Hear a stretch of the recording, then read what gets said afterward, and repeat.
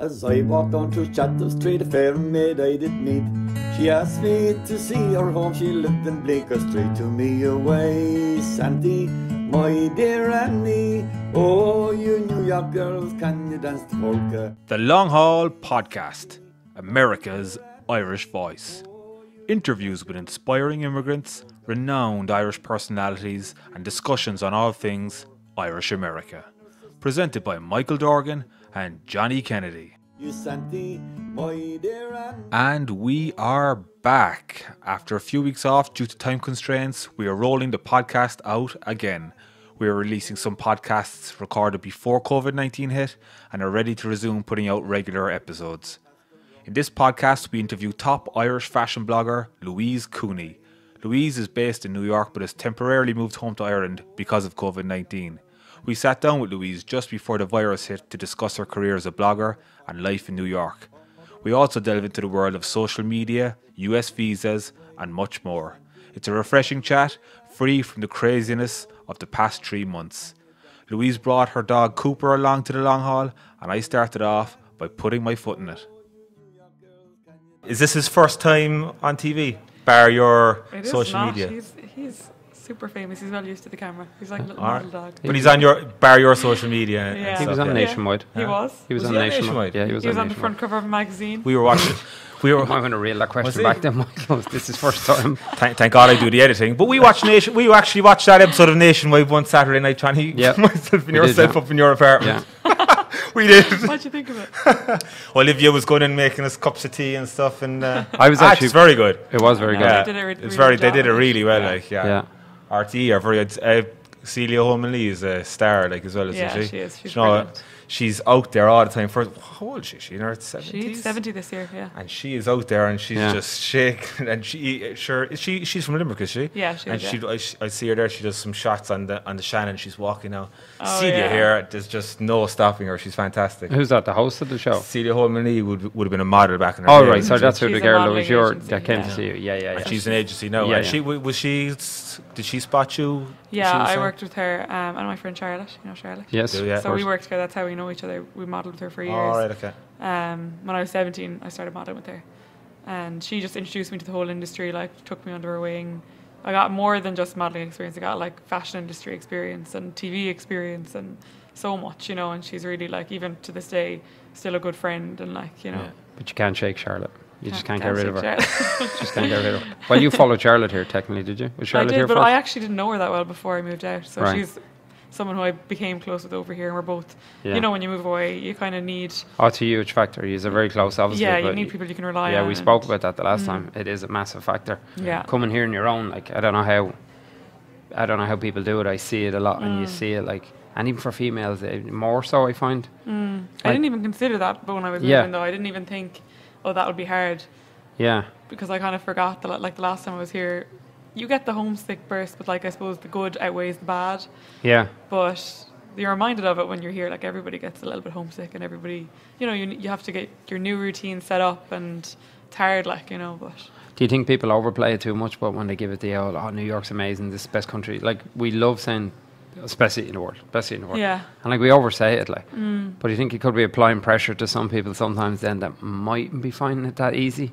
And yeah, sometimes definitely. can be a little homesick more so. Mm. I find it being in the bar business more so. I see late nights and people hanging out late at Mm. night, and you often wonder, probably from my own experience, I'd be wondering, there's 10, 15 people here and it's 3 in the morning. There's no way 10, 15 people really want to be here. Mm. There's got to be a fraction of them that are just here for the company. Mm, yeah, totally. And yeah. uh, I'm for but I often wonder, are we at fault for that, or just when we're always overselling New York? It's the best city in the world. So if you were sitting there, something, geez, I'm not feeling that. You know, Yeah. I might be a little homesick, and I might be afraid to say it, or sometimes you I try and be open about it, and I've had like people message me and stuff and say, "Oh, it's so nice to hear someone talk about it." But at the same time, you don't really want to dwell on the bad stuff either. You kind of want to, "Oh, it still is the best in the world." yeah, you want to just stay positive and pick up. Yeah, and, you that's know, good, but it's good that you actually don't hide away from it, but and then that people do ask you mm-hmm. because isn't easy. Like I'm sure for some people to just say it to a friend, like, "Geez, I'm struggling here. I'm loving it," because they might see it as a little bit of a failure, or weakness. Yeah. like, like homesickness. Why should that be seen as such a bad thing? Yeah, well, I suppose you're trying to set up a whole new home over here, and that just takes time. It doesn't Yeah. happen overnight, like you know. True. So will we just go back to? Um, sorry, no, we kind of Went sped off. That's all right. I. That's grand. I can We'll I can that. put it back in, but just go back to um, you growing ho- up home Mm-hmm. in Limerick and how you got into fashion, um, marketing you did Mm-hmm. in college, and how you how you wound up here on a podcast with, with Yeah. two lads. So I Choosing out nothing else to do. yeah, I, I was always interested in fashion. It was always like something I loved, you know, something I dreamt about working in, and I just always thought it was kind of a far fetched dream, you know. Like I wouldn't even say it out loud because in Limerick there wasn't anyone studying fashion, or there wasn't really that many job opportunities out of it, you know. Um, even in Ireland, like the fashion industry is quite small, so unless you're lucky or unless you're particularly good, you're just not going to get in, you know. So I always was working in it out of interest, and then um, when I'd finished college, I did communications. I did a master's in marketing. I got a job at Tourism Ireland, which was over here, and I didn't have fashion anymore. I wasn't working in it. I wasn't doing the modeling. I wasn't doing anything, you know, and I really missed it. So that's kind of when I really started my blog, just for the fun of it. I would do it like on my lunch break, after work, before work, the weekends. It was kind of something I really like enjoyed doing. And I remember I'd go to like H and M and you know buy something and then I'd like return it the next day. I probably shouldn't say. that. I can say that now Jeez, my mother office does just that. to have just to have clothes to shoot and I would work with photographers who were just getting started as well and like I wasn't setting out to make it a career at all you know that would have been you know wasn't So, so how many years? So, so when did you move here the first time? it was and how old were you? 2014 I was 22 Okay. and then I moved back a year later Yeah. kept working and my blog kept growing and then it just got to the point a year and a half after I moved home that I was making more money from my blog I had no more holidays to take and I was just getting amazing opportunities I I was like even if it only lasts a year at least I can take advantage of these opportunities and I don't have to say no you know? So even like that that was my mentality leaving you know? If even if it all goes downhill tomorrow I'd saved enough for 6 months and at least then I have had all these experiences that I've gone all these places and worked with all these cool brands and now I'm at the stage where I still kind of think the same thing but now I've had such a taste of it I'm like I just want to keep going you know? Yeah. And was the, was the blog um, like a personal blog, a website, or was it Instagram or Facebook? Did you migrate onto? so it was a blog it was a website you know that was like a big thing then you used have to update your blog a couple times a week whereas now it's not really that way like people don't really read blogs it's all about Yeah. video and podcasts and Instagram still Anyone it's can do But Instagram is still the main driver, is it? yeah and Yeah. stories and stuff Yeah. but it's always trying to stay on top of where people want to watch you and listen and What's one of the notes I had to keep doing on this was to keep plugging handles. So it's at Louise Cooney. yes yeah. And you're, you're not on, are you on Snap. Did you just stay Instagram? instagram mainly i have So- youtube too but i kind of link everything through Yeah. uh, instagram anyway Did I see you're on TikTok? trying this is what i mean you have to try and stay on top I of haven't been on it. What's Oh, listen, clue. It's doesn't know. Generation Z. My is that what it is? Gen, Oh, yeah. Gen, Yeah, yeah, Gen yeah, Z. That's, yeah. oh, I, I even Yeah. said it wrong. yeah. My Generation- nieces, Oh, she keeps showing it to me, and I'm like, I'm not. it's huge, isn't I don't know how lo- how much longevity there is in it though, because it's a lot of like it's very uh, theatrical, you know. So you have Yeah, to kind yeah. of, I don't know. Does it suit your personality? Um, Like it's I'm very. not, it's no, very I'm not. of I'm like, not very yeah, like. You know, it's more like Yeah. speech and drama is what we say at home, but over here, I guess like theater almost. You know, you have to act and dance, and that's just Yeah. not really what I do. so. Exactly. Yeah. yeah. We'll leave that to Charlotte. I'll get that off the camera downstairs if you want. I've loads of it, loads on file. Yeah. So when you moved here, so um, back in 2014, you were doing doing marketing, and then the, the blog took off. How long did you go home for, and how long was it then before you?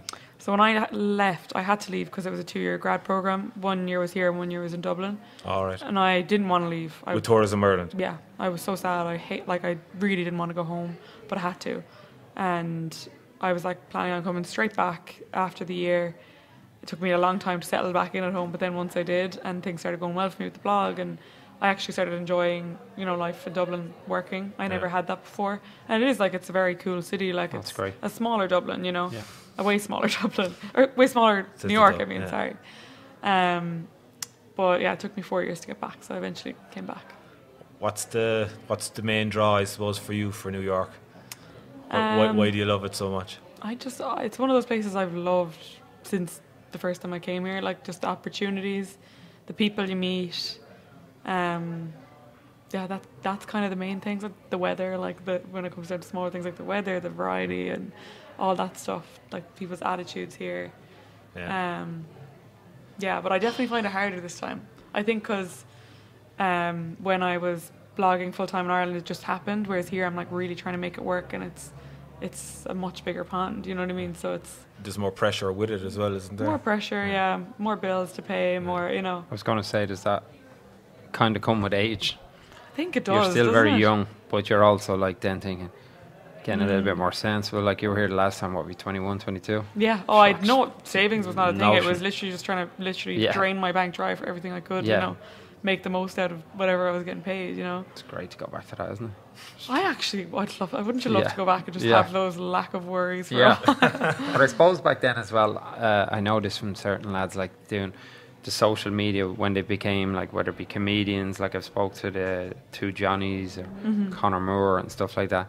And I'm I'm curious, is the blogging in the same bracket where you got people then the odd time, you better make the most out of that now while you can. It's not gonna last. People You're gonna have something to fall back on. People don't really say that to me, and I like I do have stuff to fall back on. Like I have work experience. I have three degrees. Yeah. But know. even you shouldn't even have to explain yourself to to that I point. have to explain myself in my head as well because like yeah, this is a that's okay, but but when Joe Soap, it's probably mm. nobody's going to say it maybe to a female or, or Yeah. a female might say it to you.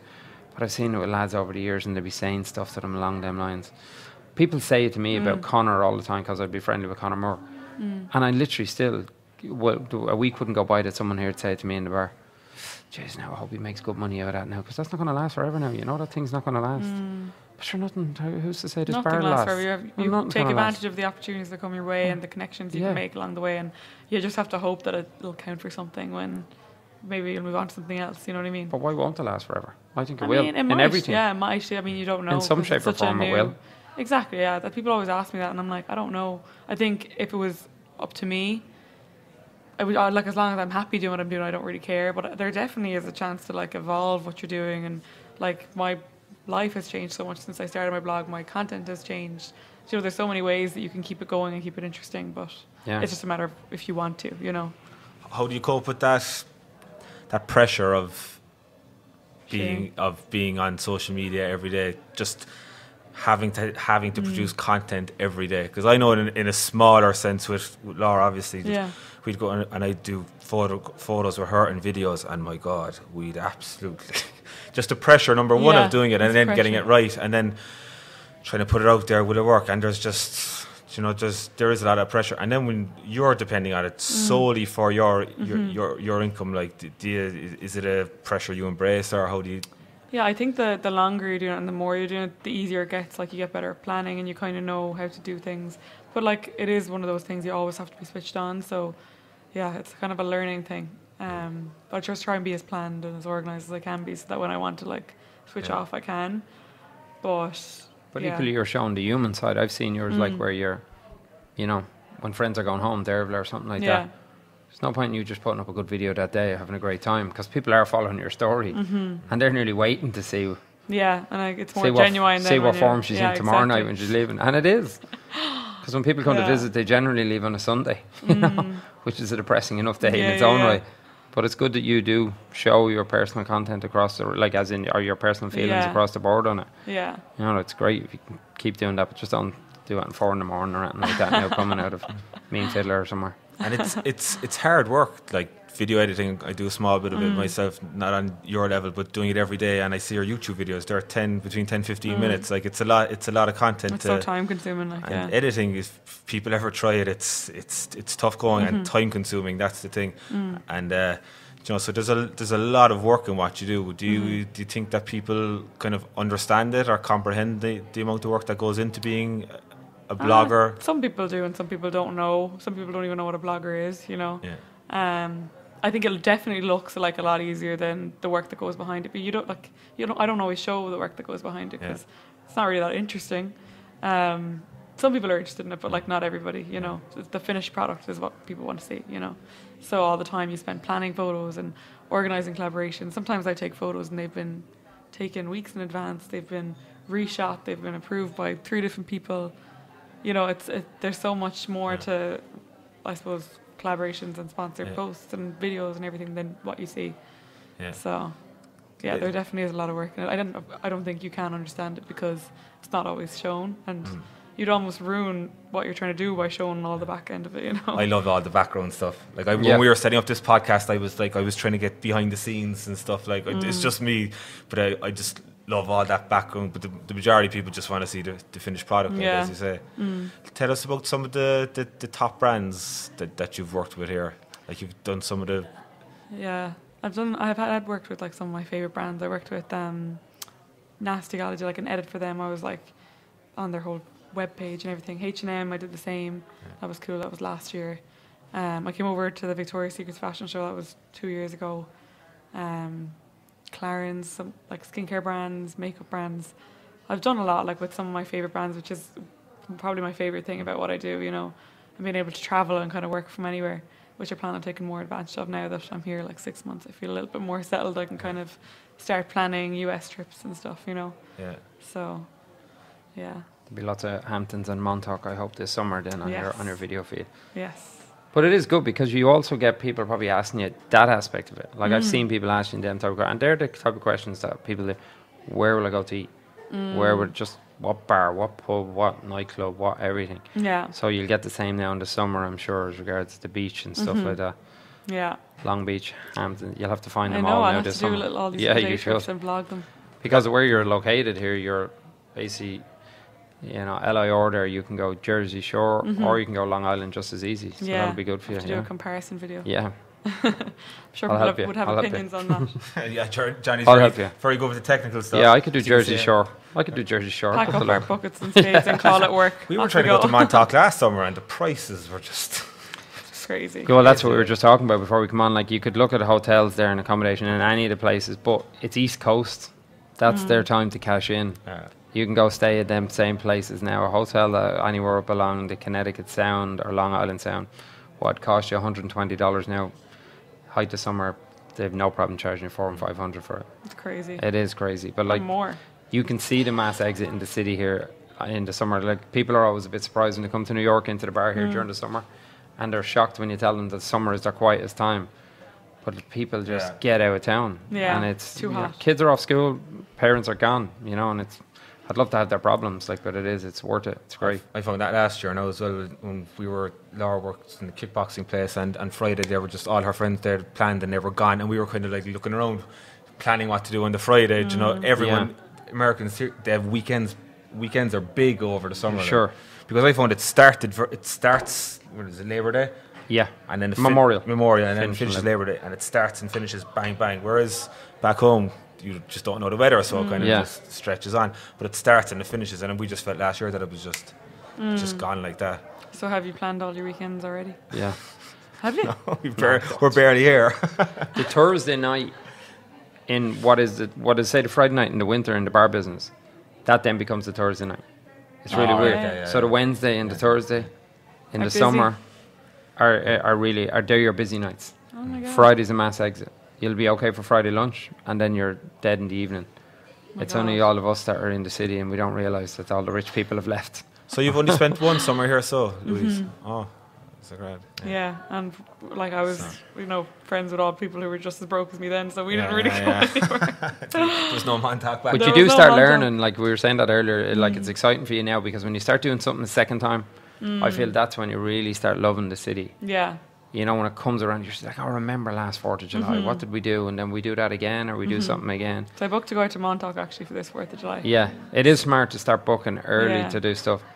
I do actually have some stuff booked. I'm just not telling Michael in case he has stuff planned.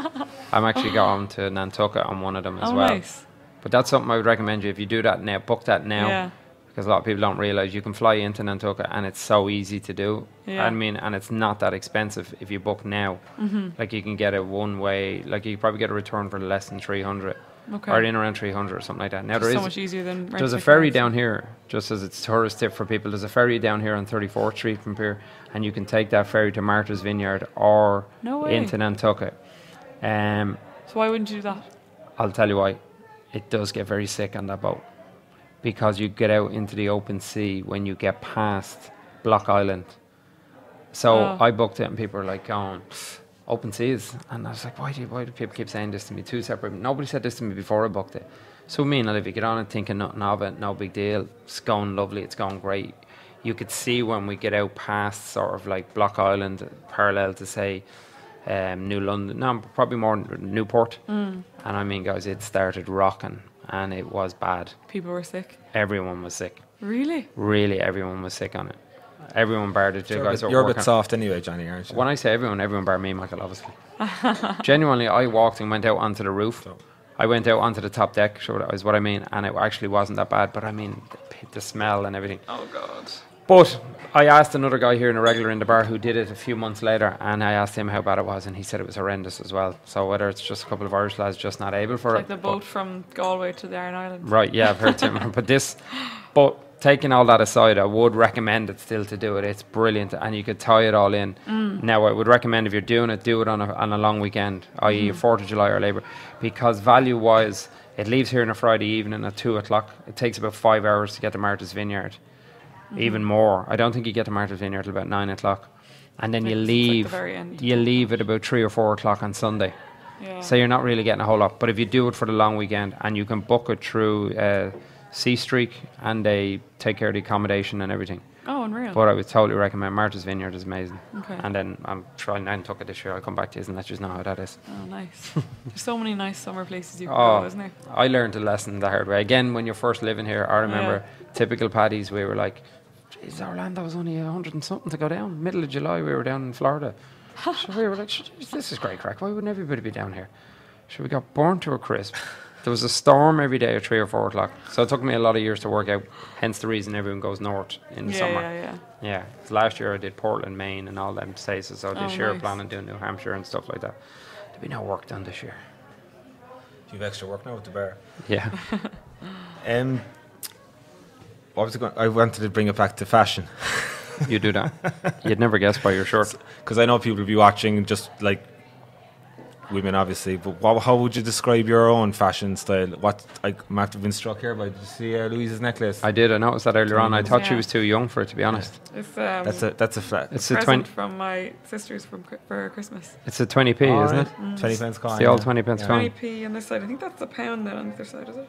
No, no, well, that was the other side of it. That's the harp sign. Is it 1988? Yeah, maybe I'm too young for Is it. it 88? It says 98, yeah. What year was the eu- the, the euro? Two thousand. 2002, I Two, think. 2002. I was living here. Yeah. That's when I knew America was the place to live. I know you want to go into fashion, but I had a car loan at home that I owed on a car loan. So you did a runner. Genuinely, I owed 3000 on it, right? So let's say 3000 in dollars, in uh, the US dollars, whatever the conversion was at the time, I owed, and it was nearly double, so I probably owed about 5000 I made that in one week as a bartender in Times Square on Paddy's Week. In a four days, so I made and I paid off the car in four Nice. days.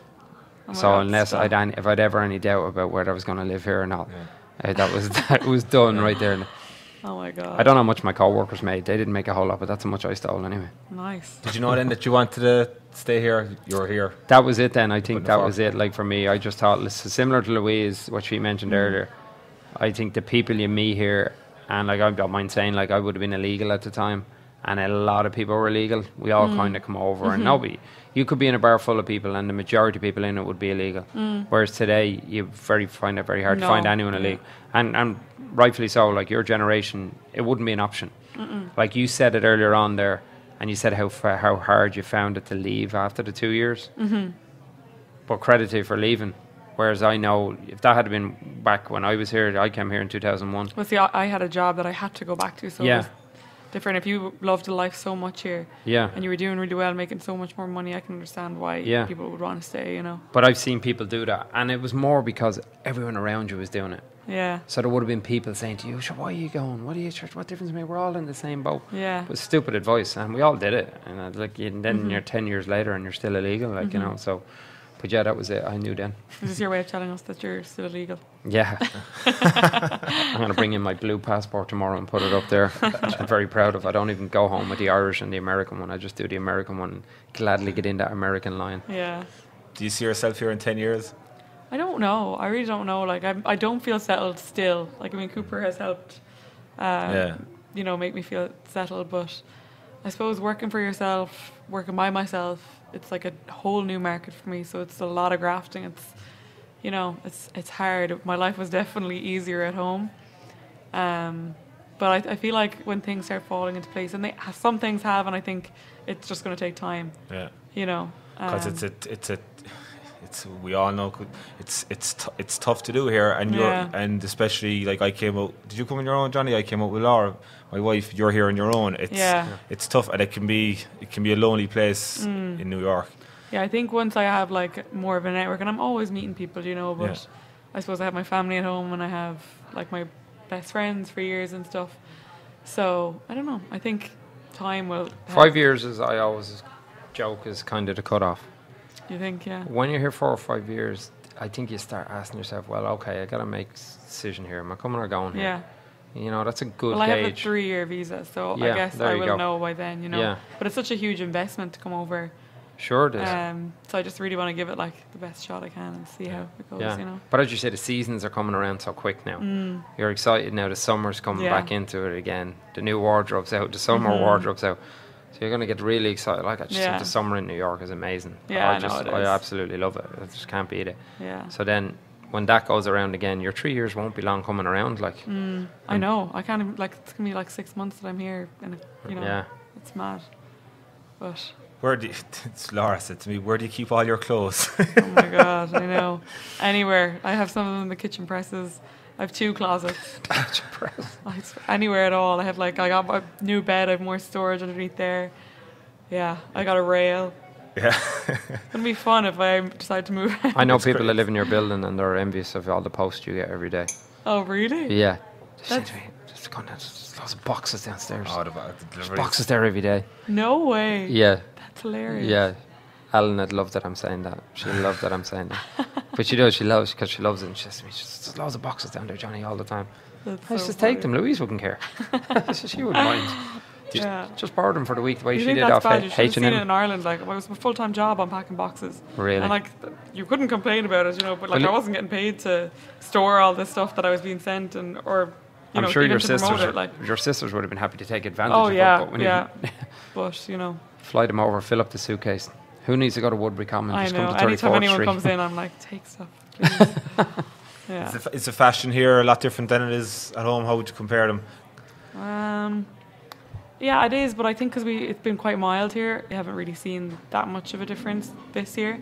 Because like this is kind of nearly like Yeah. Irish weather, isn't it? Like, Yeah, absolutely. Just the mildest winter I can Right. remember. Yeah, I remember like when I was here five years ago. It's definitely more about practicality here. When it gets really cold, you don't really have that at home. You still wear your, even though it's cold and raining, you'll still wear like your nice coat and your boots and you know. But even I find going out, if you're socialising, you're going to the pub at home, people, Oh. like I'm from Cork and it's a big thing going in- into town. The women are up, the Dressed heels and the up, tan is yeah. on. You, co- you come into a bar, any bar here and it's, you know, it's, it's casual, like it's, oh, it's, very casual. Yeah, you feel dressed up wearing like Yeah. anything, you know. How do you feel about that? Or do you kind of like, do you, do you like the, the, the relaxed attitude or would you prefer to be getting up? oh no, it's it's great. Yeah. It makes life very easy, you know. Do you find it hard to keep on top of um, fashion in general? Like you're, you're always in the, you need Always, yeah, I have to be showing new things and Six- showing what's six- new, and yeah, I mean, I do have like a, lot, a good few bits in my wardrobe that I'll kind of rewear and mix and match with different things. But I suppose people want to see what's in the shops now, what they can buy. So Yeah. yeah, that's is kind of part of my job. So my friends get a lot of, you know, wear out of my clothes as well. Yeah. Is there, It's is, is there anything you can do for Johnny with his fashion? Have a look at that top there now. I had to ask this. This is the Who, page. who's got the better? Fa- who, who's If you want to see best the, fa- fashion sense? if you want to see the Johnny? Buttons, well, keep in mind now I have a real job and Michael doesn't. right? I'm trying to open another bar and I was running here when he was late. Did he? What time did he text you to tell you he'd be here? Up by the way. They call that. Oh, I I, think they, they, they say that's deflecting, is it in politics? If you seen the bottoms he had on to match that paisley top, he's got zips on his pockets. It's like David Bowie here. Sorry, That's the- not from bad. the, from the top up. Well, we can't even mention hair anyway. We'll move on. Who's got the better hair? Mine's real. We're all rocking the buns today. buns are very in. Do you grow your hair just because other Irish lads are bald? That's why I did it. Yeah. I have two brothers that are bald, and I love that I have long hair just to really piss them off. Really, the Yeah. two brothers who are bald. That's Two so of them are bald, So he grew it. he and I love it it just to annoy them. My other brothers, we all have good heads of hair, so it's just great. Even my dad does, That's so and the funny. other two, you can tell, are just ripping. That's why they have facial hair. That is so funny. What do you like about New York and what do you not like? I- I'm not going to say hate in this day and age, but there's Mm. what do you what, what do you love about it? What do you hate? Mm. I love like the that there's always something to do. There's like literally always something happening. Um, I love the weather here. I love being able to like walk around, and most of the time it's blue skies. Like I was on the phone with my mom today, and she said, "Oh, it's raining, it's hurricane, it's storm, whatever today," you know, and that like it really does affect your mood. I found that very hard when I moved home the first time, was getting used to the weather again. It's depressing at home. Oh my god. Yeah, especially if you like if you like being out and about and walking, Yeah. and, like you just can't. Everyone sits in their car at home, you know. A hundred percent. It's the humour enhancer here. Like, there's no doubt about it. Yeah. And obviously, we're having a really mild winter, but Mm. even in general, it can be just sort of crisp anyway. Even when it is cold, the sun does shine a lot. Mm-hmm. Yeah, yeah, it does. Yeah. But in the It's summer, like, if you're in bad form in the summer, like, geez, there's something wrong with you. like- Like, yeah, But even in the winter, there's the fresh air. Yeah. Was it Sunday you were out and about and you took s Mm. Beautiful photos? And Sunday was just, it was just mild. It was it just, felt like summer, even though I mean Yeah. it's yeah, it crisp. was But just some day. It was just Mm. like, it was kind of breathtaking. And then if you compare it to at home, like it's dull and dre- dreary or whatever. And it does have a, it has an effect mentally on people at home for Mm-hmm. totally, sure. it does. Yeah. Yeah. there is that envious thing that we'd all agree. Then when it, the summer does come around at home, and the long evenings, Oh, the long evenings are the best. like I, shame on me. I came here when I was 18, first time, and I was like a half eight at night. And I went, "What just happened there?" I know. I just assumed everyone had long evenings. I I, was like so I shocked. actually forgot until you said that. Yeah. People ask me all Right the time, 11 o'clock and they're night. expecting me to say your parents. My parents wouldn't mind me saying this. Mm. When I'm asked what I missed about home, I just say the chipper oh yeah. and the long I evenings. agree with you. The You know when you get a two really sunny day at home though, and Yeah. people start, you know, they have a few day drinks, and Yeah. you're sitting out literally until eleven o'clock Yeah. at night. We definitely embrace it better at home Yeah. because we know it's rare. Like the Mm. way we've talked about the weather there, and I think that's why the three of us are saying, and all Irish here do love the summer so much because we don't actually take them for granted. Mm-hmm. No. So yeah. when you do really get Straight to at beer- important home, straight to a beer garden at home. oh, listen, it's just I like saw no sun last summer. off. yeah, Literally, but it was the year before we had a heat wave, but last year there was it Yeah. wasn't the best summer. Of course, at so you like. came after the summer, yeah. Yeah. So I'm excited. I've been waiting two years for this thing. yeah. yeah, Yeah. you're right. The long evenings, beer garden, like Mm. Yeah. large bottle of Bulmers. It's Even if you don't like it, you still drink it. It- It's half day from work. Might take the following morning off. Yeah. It's just like the thing stops. Everyone's out the door. It's yeah. That's that's one good thing about. Yeah. about How do you home, plan your trips at home in the summer? Now, will you purposely, when every trip you do, say when you're going home, Mm-hmm. is there a, a work purpose a lot of time behind it? you know, Um, like a, a renewal of visa or going home for anything work wise? What is weddings, a lot of weddings. I'll have it? to Weddings. plan You're at that around, age, yeah. So you should be illegal. I was illegal through the whole 20s, and all my mates got married. I didn't have to go to anything. and now they're all miserable. Oh, and it's they're very getting a expensive, divorce. isn't it? And I'm up a couple of hundred. It's a Oh, great result. That's so funny. Yeah, It is no. true, but you're at that age, you know, and if you mm. go to one, you're bunched. You can't. You have to go to Yeah, them all. we'll Like see you- how we go. I mean, this is my first year, so Yeah, I have yeah a couple of weddings coming up. But we do love it. Like, when, when did the wedding become a two or three day thing at home? Like, it's ne- the day after is nearly more important than the wedding, isn't it? yeah, But yeah, the day after. The day after is like, and you're getting judged on it. Like, is it? Did you hear your man didn't get a barbecue for tomorrow? Jesus. yeah. So, Need to pay for our own food. pay- meanwhile, they're putting 21 quid in the card, like thinking it's your 21st. Like, so funny. Uh, Irish weddings are just second to none. Here, here they're kind of like a yeah, non-event. yeah. I don't know. You see, I, I don't know where I'd fall down on that now. Like Irish weddings are phenomenal. Like I'm saying the two day thing and three day, but they're just they're brilliant. Like Yeah. they Yeah, really are. They're good fun. Whereas here, here it's really good to be invited to one where you're not really that invested into it. As in a home, if you're invited to one at home, like I'm just saying, if you're invited to one at home and you don't really know them, if it's Laura's friends or something, it must be horrible. You're basically doing two days with something that you really don't want to be at. Mm. Yeah. The American wedding is great for that.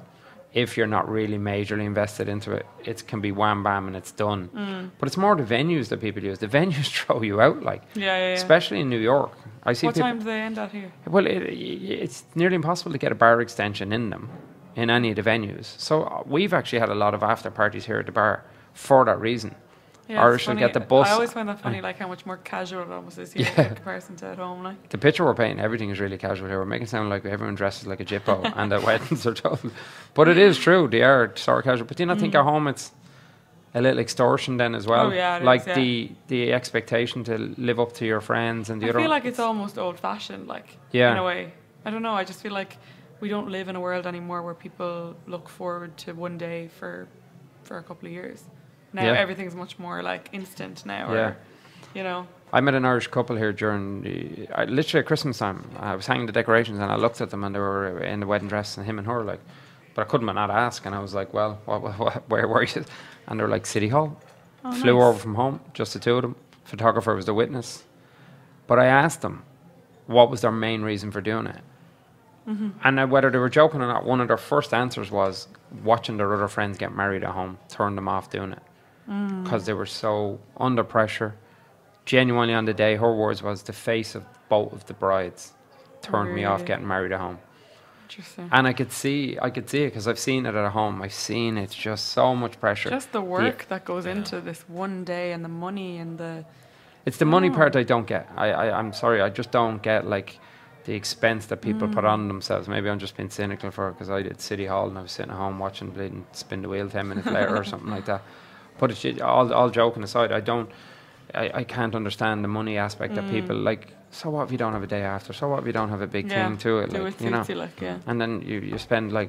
if you don't have a day after? So what if you don't have a big yeah, thing to it? do Like it you know, suits you, like yeah, and then you, you spend like, what's an average wedding at home? 20, 30,000 or something. more, more, more. More? There you go. I haven't I a would think. I don't actually know for definite, but It's like, and then the same person would I be feel like struggling. fifty. Yeah. And the same Oh, that, person's yeah. then struggling to get a mortgage then after that then. Yeah. And for now I've and I've never met anyone afterwards, like would in the year after that one of the two couple, if the other one's not Mm. around, will go to you. Fucking disaster. Yeah. We'll ask you another time, Michael. We know you did it. Well, Laura did everything for me. But another thing I love about here, anyway, we were talking about what we love about here. I love the open mindedness of people. Everybody's so like anything can happen, you know, and Yeah. people really go after what they want, and people don't really judge you for what you want to do or what you like. If you say something, people are like, okay, cool, Yeah. you know, go People- for it, do yeah. it, you know, hundred percent. yeah. People are out here here to achieve something, make something of, Mm-hmm. of their lives. Like it's what you were saying previous podcast, Johnny. You see no one downstairs on the on- Yeah. on the door. I've always this thing that I was joking say, you won't have to listen to the opinion of somebody on the dole Mm. in New York. There's nobody on the dole in New York. There's no Irish person on the dole in New York. Yeah, So the long story short, the, the, the, the, the joke I'd make is like if you're sitting in a pub at home, like Mm-hmm. you are going to have to listen to the opinion of one of the guys or girls you went to school with, who's on the dole, who doesn't really. And every time you say, "Well, I'm going to Mm-hmm. go open my own bar, I'm going to start my own fashion brand," and everything, I wouldn't do that now if I was you. I'm not that in Mm. the head. Whereas as you say, you say anything here in front of someone else, Mm-hmm. nine times out of ten they're like, "Absolutely, go for it. I'm going to try to do something similar." yeah, and I- it's all about like networking here as well. It's kind of like, how can I help you, or how can I, Yeah, how could we work together on this, or absolutely. you know, Do you find a difference between here and home in, in that sense In- about people people backing you up, the positivity positivity like like you as a blogger that had Jenny kind of the begrudgery that That word, that yeah. I think that- that's the word like that's one of the reasons kind of we decided to come here. There's a bit kind of there's a bit of that at home in Ireland and here you're just like you're out here Mm. and people are supporting you. You're going to do something. Everyone is like Yeah, but I have found like since I've moved and my following is you know it's mainly Irish, I've gotten so much positive messages from people. No, like very little begrudgery. Just people like really yeah. excited for me and kind of proud of me for moving, which is really nice, you know. Yeah, to that's see. great. Yeah, ah, That's great to hear that. and like they see like how hard I work and they know it's not. Oh yeah, Most of the because time the people know begrudgery it's we're talking easy, about you and the guy in the dot the, it's a s- fraction of the people. Yeah, Because people at home, the support even with us opening this bar and trying to open the other Yeah, I think people at home are just when they're amazing when, about it. when they're at home and you're, they're looking at people away from home. I think Yeah. they're we like we are like prou- proud of Yeah. Absolutely. people abroad are. And we're pulling we're pulling each other together over here. Like you know, Yeah. it's either kind of The Irish community here is it's like ah, it's huge, great. isn't it? Yeah, Sink no, it's massive. Yeah. It really is. You could, like you said it there, if you like, if you ask somebody for anything, even into your field, I know from building here, even the amount of Irish lads that come in and did work for us, and Mm-hmm. like as regards payment and stuff, they'd be like, yeah, yeah, you'll get it to me, and I'm not just saying that for the sake of the podcast. Mm. They really would, like, Mm-hmm. they'd be like, yeah, don't worry, you'll get it to me. Just pay for the labour and pay for the cost of the stuff, and when you get going, like you know, and that's still going on today. There's lads still doing that for Mm. Mm-hmm. The each Irish other today. really have like taken over like construction and Yeah, bars and everything. Like even my uncles, they moved here, God, 25 years ago, and they're up in Connecticut and they own a bar and they're in construction. And Yeah. It's funny, like, isn't it? It is, yeah. It kind of was the classic construction thing years ago. You see, it's changing a lot now because there's not so much cash anymore. Mm-hmm. But it is. But like, how much work must your uncles have done there when you think about it? To be Oh, putting in that level of work, Yeah, yeah, to yeah. be doing construction and to be doing bars and still doing it. Mm-hmm. You know, but I don't think you know any different here. Like it's like Michael there today. Now, in fairness, running around to get here. Mm-hmm. You were doing the same. I was doing the same. But like, just get on with it. Like Mm-hmm. it's not. I do think sometimes what we could do, we're pulling ourselves in. Sometimes I think we do it too much. Mm. And when you go home and you see like lads, you know, they're nine to five. Like I had a friend here only recently, and he was talking about his company are trying to transfer him over, and he was asking me my advice. When the jig's in the real by the end of it, I was like, "You've three kids." I said, "What time do you get home at?" And he says, oh, "I'd normally be home at three thirty-four, you know, and I'd Oh be my there." god. And What I- you do? and I was like, "Be home." And I said, "Okay, so you leave early?" He said, "No, I dropped him to school." Like he's an engineer, but he, he drops him to school. But I, he was contemplating coming here. Like they want to transfer him here for a year. I said, "Believe me, I know from friends of mine that work in SAP here." I said, "That's not going to happen. You're going to get here." And he said, if he does get here, he will be traveling a lot. So I said, "Yeah, your wife's going to be in the house a lot on her own with three kids." Whereas I do think we probably do all just follow like what I'm trying to say is we probably all do work a bit too hard here. Um, yeah. Everyone's doing it, so you're like, just sure, get on with it. We're all doing it. Yeah. You could do it like reeling it in sometimes. I think that's one of the things I've found hard since I moved because I work for myself and because I suppose my network is smaller here than it is at home. I'm constantly working, but I'm working a lot by myself, Right. and it's hard. Like it's you know, I feel like the more I make connections, it'll get easier. But Yeah. probably do get a, a shared workspace or something. Like you know, Just to get yourself out. Mm. Yeah. And did you mentally. did you um what did you set up before you came over here? Was it more well, see, because I was at home and I was getting invited to everything, I was out every day meeting people. You know, and I also Yeah. had roommates, so it was different. okay? Yeah. But that's something I'm considering. That's one lesson I think I've learned. I don't know if I love living by myself. Yeah, So I think I might get roommates next year. yeah. It's, it's, I, w- I, I, I'd be the same, you know. Yeah. I wouldn't. I've always had roommates, even before me and Olivia lived together. I always, ha- I think it's a mentally, it's just a good thing to Yeah. have somebody there, you know. Even just, especially you, you've, you know, you grew up in a house with a few people. Yeah, exactly. Uh, Yeah. you know, as I did too, like two bleeding many. But Mm. you know, that's that was something I said the other night to a couple of girls. We were chatting downstairs, customers, and we were talking actually about this podcast when we the other day we were trying to do it. But I was even asking them. I said, like, did you ever have your own room until you left home? Like some people arrive in New York, it's their first time ever having their own room. All these little things were intimidating. Like, I mean, you- like, you always say to your brother or sister, like, like I grew up in a house with six boys. Like, mm-hmm. I shared a room. Like, I never had my own room till I left mm-hmm. home. yeah. But that in itself was intimidating. It wasn't and then actually already being away from home and yeah, you, it all it all is factors in. So I would definitely recommend to a lot of people. Roommates are good to have, like yeah. just to know there's someone there, even when they're not there. You know they're coming home or they're going to be. Yeah, I suppose it's, it's different when you're moving over. Like I didn't really know like anyone Yeah. I could have moved in with, you know that kind of way. So, but now I'll be in a situation where I will know people and yeah. You know. It's amazing how excited people come in when they come in and they see a grocery there. Oh really? Oh, it's just unreal. I think it's great. Like it's a great gimmick for us. Like, but it's funny. But I get when I'm people pick up some Weetabix on my way out. Actually. just check the date on them there before you do that. No. Some of them are up there for show. I seen a woman going out one day with the crackers in her hand, and I was like, "Oh, she's definitely coming back with them." Oh, Hilarious. so funny. Did you did, did you have an apartment set up? Because when we came here, we had no, we did our space. Mm. We had nothing set up. We were booking the we were booking the hotel to stay in the following night and the train up on the, on the Sunday and arriving on the Monday. So you arrived, sorry, you and Laura arrived to New York with no one to stay with, and you were staying, booking a hotel to stay with in New York. yeah, And what was your plan like for night, week two? the plan was just to try and find something as soon as possible. We stayed in a hotel for a w- two, two or three different hotels for a week, Just that was brave, man. And this is about Louise's podcast. Uh, no, no, no. Just but a this is New what I did, yeah. It's But a this- New York But there, podcast. there yeah. like realistically, that's But the this- options when you're yeah. moving, when you have stuff and you. So I had like I moved over, had a couple of cases, and I had boxes coming. And, Yeah, Like I could have stayed in a hotel if I didn't find the right place. but how, how did you have an apartment set up? Um, I had my friend view it for me like a week Oh, before 'cause right, everything okay. moved so quickly here. Yeah, And then I moved in. Oh, but like getting the deposit sorted, getting the car, everything was last minute. Yeah. I just got lucky that I moved in three days after I got here. But I did have to pay for like like a night or two in a hotel. yeah. Because it's so Um, difficult, because like everything, it's set up. We need your last couple of bills, we need Mhm. utility bills, we need all this. Yeah, and you need like if you don't have credit, you need you need stuff that you don't actually have. which pay. them. Yeah. There are some Yeah. stuff that you possibly can't have. Mm-hmm. And obviously, you didn't want to go staying in Connecticut. No, well, just with all my stuff, it would have been It a just- lot. yeah. And then I probably would have taken me ages to get sorted with, Yeah. you know, coming up and down. So Yeah, that Yeah. could make it very difficult too. Because sometimes that's like you and Laura came and stayed in. Where'd you stay in the city? Well, we, what we did, we came on the Sunday. We stayed in the city for like a couple of days, two or three different hotels for a week, and we couldn't find anything. We were on Craigslist in the hotel. We were up in Jamaica at one stage, and um, on Craigslist, and they were like, "Yeah, if you just send us the cash, we'll send you the the keys to the apartment in the post, and they were sending us driver's licenses, and I was like, "Fuck, this, Yeah. this is definitely a scam." So we were waiting, waiting, and it was one of the first apartments we saw in Sunnyside that we kind of disregarded at the start, and then we ended up going back to that. But the second week, then Laura had a friend out in Jersey, and uh, she's the same age as us, 25, 24, and. in the nineties.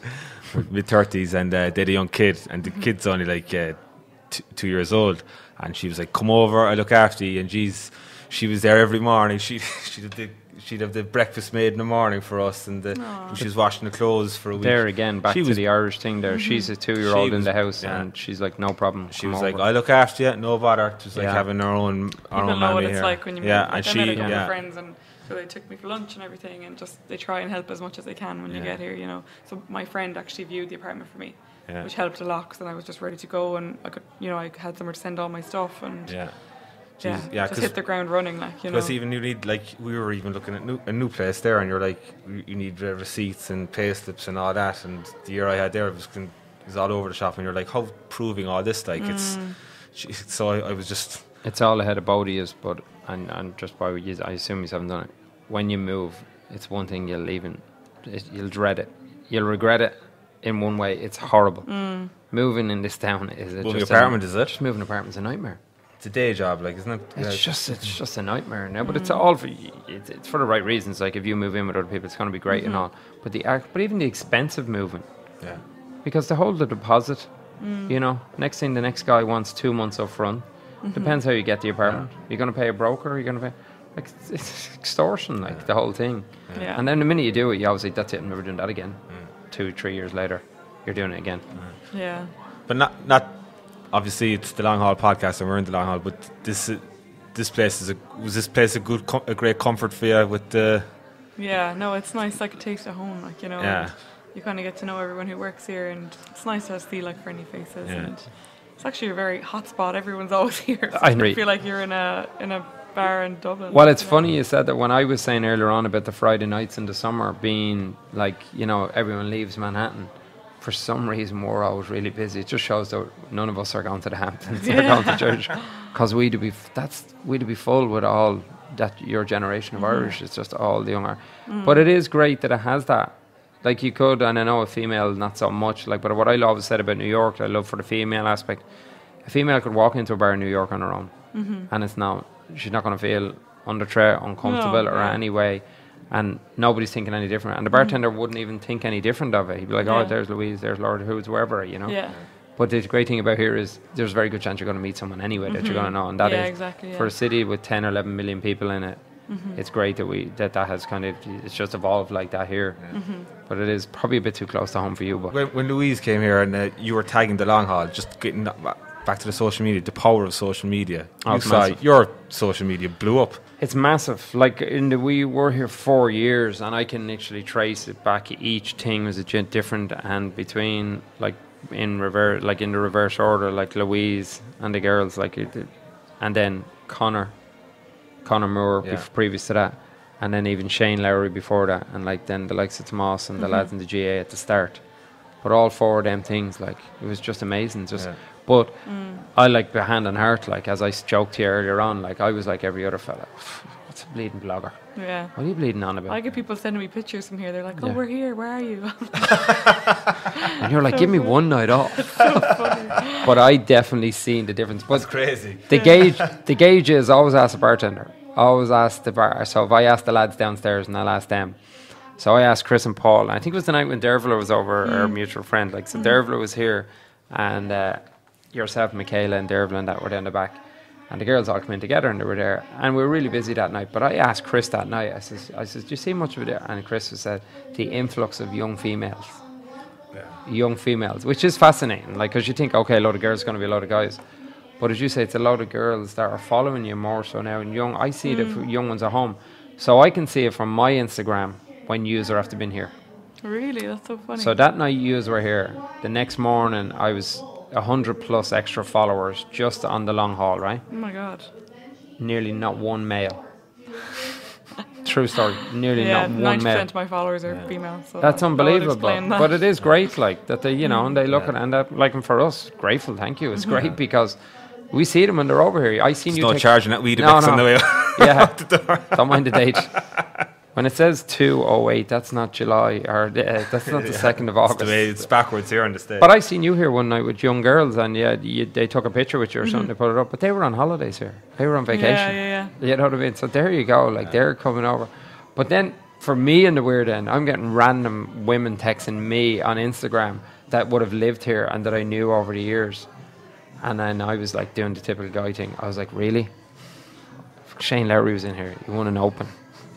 And you're texting me about the girls been in the bleeding place. You having a laugh? but this a bit of crack with them, you know. But I, I think Yeah. it's brilliant. I think it's fascinating. But same, I'm fascinated by it. But at the same time, I think Mm. social media for the bars is it's amazing, and it Yeah. uh, yeah, like the blogging thing, and it does. It's great. It's like free marketing. Like, and it's you know. brilliant. Like Mm. Instagram is the best thing that's ever happened to the bar industry, more so than Facebook or any of them, Mm-hmm. Yeah. because the story. It's it's all Yeah. the story. I always watch as well. Like, Yeah. I don't follow many bars now, but like the ones that I would go Yeah. to, I'll always watch. I'm like, oh, Yeah. what's going on? You yeah, know? absolutely. yeah. I've seen it here when sorry when you would be here. I've seen it on nights, Mm. And I could see them post like when Limerick were here that time. Mm-hmm. When the Limerick team were here, they were great, like they were brilliant. But on the Sunday night, it was a Sunday night. The lads came back and they were just had the place to themselves, and it was amazing. But when the lads were tagging in it, I'd seen more and more people coming here at like 1.32 in the morning on a Sunday night. Mm-hmm. They're not coming this direction. They're not. Sunday night is like anywhere in the world. It's pretty Yeah. quiet anywhere. And a guy said it to me when he come, came through the door. I says, "Oh, this is the only show in town tonight." He says, we've seen it on Instagram." And I saw when um, Hozier was here, I saw it the Oh, next yeah. day on the story. I was like, damn. Yeah. I wish I saw it would have come over. he, Like, he didn't tell you he was coming in. Jeez. Well, Hozier come in. You see, Hozier come in on the, the Friday or Saturday. do Saturday, you know who wasn't needs it? to get in here? Dermot Kennedy. Well, you know where he's from, right? Dublin somewhere? Rathcoole, Oh, okay. where I'm from. Did you see him Oh. recently? and Do you I, know? and my name is Kennedy as well. So I get I have got random texts Oh. like, "Are you related to him?" And I always don't go too high. Just message him and say I'm your uncle. No, but I don't go. Long lost I don't go too high. I always go. Yeah, he's my second cousins. Don't make it too obvious. And then go. We don't really know each other. I'm out here years. It's way more believable. Like. It is actually. And then one fella said it to me. He goes, "Oh," and I said, "Look, there's nothing I can really." do." And he says, "Ah, no, it's just my sister's really into him, and she's like, she'd love to meet him sometime." I said, "Do "You know, to be honest with you, I haven't seen him since a kid." That's just so leave it at that. yeah. Did you see him? Was, was Yeah, he was very impressive. That night we were in Brooklyn that I was telling everyone not to be on Instagram. Mm. gonna go and then see I him get on. again? Yeah, he was amazing now. That was I didn't I hadn't heard much about I just heard this hype about him. My Mm-hmm. brother actually did go to school with him. They knew good. each other through football and stuff. And my brother was going on about him to me years Mm. ago.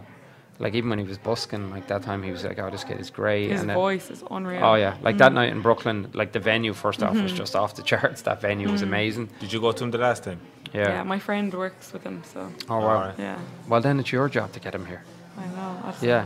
Just see say what I can do. It's the, it's I'll, the me- hottest I'll new, actually say it It's to the her. I will. hottest new No, podcast you should in just town. say to him, you know your uncle has a bar. Oh His God. auntie was the is the lady that used to be on Nationwide that just recently retired. Mary Kennedy. Mary Kennedy's oh his my auntie. God, no way. Yeah, that's his auntie. Oh, I didn't know that. Yeah. Oh, Yeah, she's loved in Ireland. Oh, she's amazing. I love her Yeah. actually. She's really good. Yeah. But Hozier was great. Now I have to just to finish on it. I thought he was a, one of the nicest people I've ever met. He was just not just to everybody. How did he end up in here? Honestly, his roadies or the lads that were in the band with him were here last year for a game, and they went back. His this is what he was telling me. They went back going on about the fries. Oh, the fries are good. They went on about the fries and the Guinness. So I, Fries, s- and, Curry. fries and curry. so he said it to me. I says, "How did you find it?" It was him and the guy, and he said, "To be honest with you," he said, "The two lads that are in the band with me, they came back and he said, we found this place. I'm telling you." And he said, "To be honest, I was like, yeah, whatever, lads." And prove the point, he came on the Friday night and didn't know we didn't know he was coming, and he randomly came in whatever the Friday or Saturday night. Mm. But a good side story was I knew he was coming back on the Tuesday, and I purposely didn't tell a whole lot of people because mm. they rented. They just took the back area themselves. But there was a friend of mine who called in here, and she started. She came back after the gig that he did on the Saturday night, mm-hmm. and was telling me how big a fan she was, and and really then I thought like, yeah, you're a fan, but she really is a little, but borderline stalker. Mm-hmm. So I let her come in to let on she was a waitress. Oh, hilarious. So she hung out for the night, and. Um, Did many people bother him for pictures? They did a little, but he was good, very good about it. Mm. But it was funny because we pulled a curtain across there, at the clock halfway down, Oh, right. and I stood the other side of the clock. And one girl at one stage came running through. I'm not exaggerating. Literally came running through the curtain, and like was getting really pissed off at me. And she's like, "Can- "Can I not just go down there?" And at this stage, I'm kind of pissed off. It's 1.30 in the morning, and that's why I said to her, how do you see this playing out? She's like, well, I said, do you think you're going to go down there? And he's going to say, oh my God, let's be friends. Like, Oh. I was being a bit short with her. And she's look, and then it turns out she wasn't even drinking or anything, but she was just waiting to see him. And at 4.30 in the morning, 5 in the morning, I have a picture of her and him, like when she's leaving, she eventually, so she waited it out and she Oh, eventually got her picture. He couldn't have been nicer, but he was actually on the Tommy Tiernan show the night after. Oh, I didn't realize that last year. And Tommy Tiernan always asks people to do that little. Do you have a little jingle in you? Do you have a song or something? And he Yeah. couldn't even sing it. He says, "I've nothing." And he He's started going on about his like his voice and then something. And I was sitting there going, "Yeah, I did that." Chicken, Oh. curry fries. And Did he fly home the next day? he literally flew home that because I just like, why did he even bother getting a hotel room? Like he left here half five, six in the morning. Two of the nights he was here. Oh my god. Oh yeah. That's New York for you. Oh yeah, totally. even Hozier can't stick it. Um, we started off that with the, the social media, and I just wanted to ask you about um, like there's, the pot, there's the, the good side to it. I think it's great or whatever, and like you've nearly two hundred thousand followers. You must get the odd bad or a slight comment. Um, yeah. Like, uh, is this? I know you can brush it off, but does, people can brush it off easily. But does it get to you, or how do you ha- ha- Um, handle that? Yeah, or- like it used to get to me more when it was new. Um, and if people say things that are really wrong, then it will. But I just thought, like, I just know now how to react and how to, you know, and Yeah. I just ignore it. Yeah, fair play to you. You yeah, know. because like you're you're you're the you're in the public face all day, Yeah. like and But I really, I honestly don't get that much. Like, Yeah. I don't. But there's always be someone there sitting at home and about you trying to, you know, just to be difficult just because they can, like, through a screen, you know. yeah. But for the most part, like I just don't really let it bother me. I take a screenshot, laugh about it if it's bad, you know. But yeah, Are you ever struck by your, the amount of followers and the following you have? Did you ever really go, Yeah. "Geez, I'm here in New York," Often- and like, like do, you, and you are like- you one of the biggest Irish bloggers it's crazy to here. me. It's yeah, crazy. You know, it's so weird. Like when you think about the numbers, like it's mad. yeah, But I mean, I'm lucky. I'm re- I feel really lucky that I was able to make a career out of it, um, and I was able to move out here. Like that's very lucky. Not many people Yeah. get that opportunity, you know. But I do work really, really hard as well. yeah. Um, Seven days a week. I, Yeah. I could be wrong, but- I, I would presume it is. and I it? just never would have put myself down as somebody who'd be doing something like this because I don't know. I, don't, I don't know. I didn't. I just wouldn't. I think Is it kind of is it is it like the natural progression now for models and like people have to have like a social media presence? Yeah, but I wasn't like I wasn't like a big model. I just did it like as Yeah. like, almost like a job with college. You know, during college, I, it was never something I wanted to do full time or. It was more you know, fashion. It was never something I probably could have done full time. You know, um, but fashion was always the yeah always a thing for me. So yeah, we'll just see where it goes. There is there's a couple of different options where you can take take things, but I think as you get older, you start to like think right, where is this going? You know. Yeah. So it'll be interesting to see what happens. It's even tough, like I presume, like you're a freelancer and you work with all these top brands, but I mm-hmm. suppose they're all like ad hoc. They're like you, you get a mm-hmm. you get a gig, then you have to try oh, and get your, your constantly next gig. hustling. It gets tiring. Like that's why I'm like, do I want this forever? I just don't. I don't know. You know, wouldn't that be interesting? But The you're you're happy. blogger who gave up influencing. You're happy how, how it's going. and is this the fam- most famous dog, most famous Irish dog since Roy Keane's? Um, I thought he's the quietest dog ever, isn't he? Class. My like. most liked photo on Instagram is of him, just of him. I'm not even not even my hand. really? That's great. When you when he made it to New York. how hard was it to get him in here? Um, it was. Do you know what the hardest part was just getting the information. So like, finding out what you actually need, what paperwork you need, what shots he needs, and that everyone will tell you different things. So I think it's kind of a matter of who you meet on the day. But Alright. I mean, it was straightforward, and few people told me it was straightforward. But then I've also heard stories of people being refused at the desk, and sure, what do you do then when you have a dog with you and you have a flight to catch? Like you know. So I don't know. I have to bring him back to Ireland, so it'll be interesting to see how I get on with that. And does he have to be trained then for the, the apartment Oh building? yeah, it's interesting. And, what? It's an interesting. It's a it's a learning. It's a learning curve, isn't it, Coop? uh, he doesn't like rainy days, so we always have an accident on a rainy day. All right, Jesus. But do you know what I've actually come to learn? I think it becomes a part of. You know, when you have a dog, you kind of just brush it off. It's not Yeah, like you, yeah. it's never anything bad. Do you know what I mean? Yeah. And it's kind of nice to have someone else to worry about and just to get out of bed for. And do you know what I mean? Yeah. I don't mind doing it. it. Like I used to think, oh, that would be terrible having to bring him outside four times a day or whatever. It just becomes a part of your day, and you just get on with that. Like do you know, you have a couple of dogs at home, do you? uh, one dog just at home. Oh, I thought I saw a couple on the, yeah, the no. nation. Well, that's Nation when, probably one Cooper is. All right, Cooper okay. and, and our home dog, yeah. All right. Yeah. Now, do you share him, Cooper, with your roommate? Is that My, what my roommate in Dublin, yeah. Right. Mhm. Yeah. The so- roommate's waiting for the dog to come back. So, So summer, I think it'd be good for him to not be here. It's very hot in the summer, like you know. Yeah, it so does, yeah. He doesn't do well with heat, so good for him. Do you have someone working for you then here doing your photos, or who does who's behind the scenes? Yeah, so I have somebody working with me. She's Irish as well, um, and she'll help me with like videos or photos or blog posts, kind of a couple different things. And then, um, depending on what kind of photos I want, I'll work with a photographer then sometimes as well. All right. Okay. So it kind of depends. Yeah, it's always different. It's always yeah, it's interesting trying to figure out. Being an Insta hobby myself. Oh yeah, I need to get myself one of those. he's the cameraman. he's the cameraman behind the scenes. I bet uh, that's what I was getting at when you were, you when you were uh, Cooper coming in. I remember because don't know, they know, but Laura was stuck at home there for a while, and she was in a bit of a. I get on someday to talk about it in a bit of bad state mentally when she was home for a while, but she was like going through her. She was in administrative processing. It's like.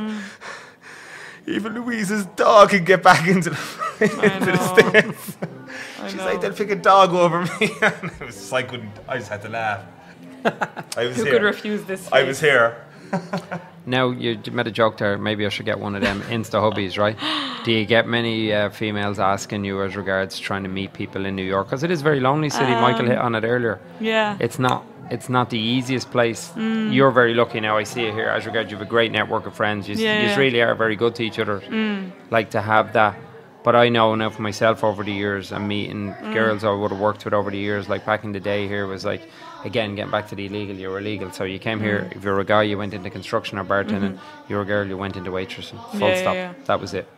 And that was just like impossible then for some mm-hmm. girls to meet somebody. yeah. You know, you start going out with a guy who's in construction. I think the mentality here to meet people is very different than it is at home. Right. It's like people just want to date. People want to be single. You know. Yeah. So that's just the way it is here. Like I It think, is, isn't you know, it? Yeah. People don't really. Yeah. Yeah, and people definitely prioritize work. You know, everyone does. Yeah. I think. But do you think that's also a part of they're a little braver to be single here and they're not judged to be yeah, single? Yeah. Whereas at home it's kind of like if you're not in if you're not in a relationship, you're not in the group, you're not getting invited. Yeah. You know what I mean? So it's a little bit more I do have a lot of single friends at home though as well. Yeah. I think times are changing and you know it's just going to Yeah. be a case where not everyone's going to. bring them over here some Friday night downstairs to be laughing. but I do, I, I just feel that I, I'd be wondering which is the difference because it is difficult here. Like you Mm. can see it here. Yeah, definitely. Because I always get a good laugh. I'd be winding the lads up. Like, I don't wonder what you're thinking as regards marrying outside your culture. Now I'm going on like I'm 110 here, but I'd be laughing like, cause and I always att- I always like the Kerry lads more so over this. Mm. Like they're mad to hook up with the like the Puerto Rican girl or the you know the, the exotic girl, Mm. blah blah blah. But yet they're the one county that are mad to move home as well. Yeah. And I'm like, bro, you should have thought about getting a Colombian wife before you wanted to move back to the hills of Ballinskelligs, like. oh my god, that's so. Funny. Like, and you just see them, like, and they're like, no, Johnny, I'm not hooking up an Irish board. I didn't come over here for an Irish board. I'm going for the fucking, you know, I'm going for the exotic board. That's and so then next thing they're like, "I- I'm moving home. Like, I say, "She- can barely speak to walk around Queens, and you want to walk around bleeding Cahersiveen with her. Yeah. I have to say, one of my friends is going out with somebody. Um, I forget where she's from, but she didn't speak any English. Yeah, I bet you he's from Kerry. No, no, he's not actually. Um, Healy Race.